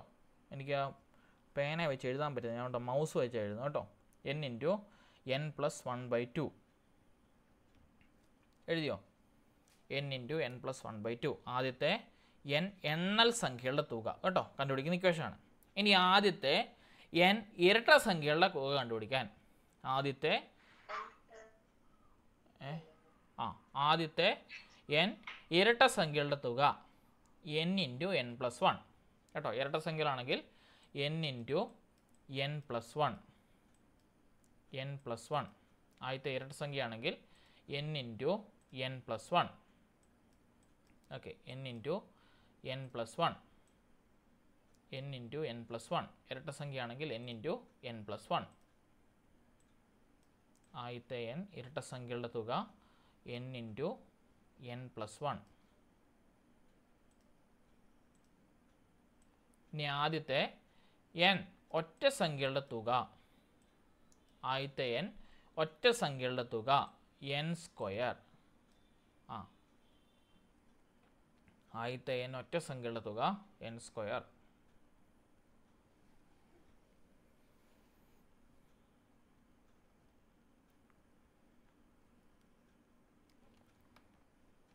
എഴുതിയെടുത്തോ? മൂന്നെണ്ണം. അങ്ങനെയാണ് ആ ഇക്വേഷൻ വെച്ച് മുകളിലത്തെ ചെയ്തേ. ഇക്വേഷൻ വെച്ച് മുകളിലത്തെ ചെയ്തേ. എന്താ ചെയ്തത്? ആദ്യത്തെ എൻ ഇരട്ട സംഖ്യയുടെ തുക കണ്ടുപിടിക്കണം. ഇരട്ട സംഖ്യയുടെ തുക കണ്ടുപിടിക്കാനുള്ള ഇക്വേഷൻ എന്താണ്? N into N plus one അല്ലേ? ഇരുപത് ഇട്ട് കൊടുക്കുക. ഇരുപത് ഇന്റു ഇരുപത് പ്ലസ് ഒന്ന്.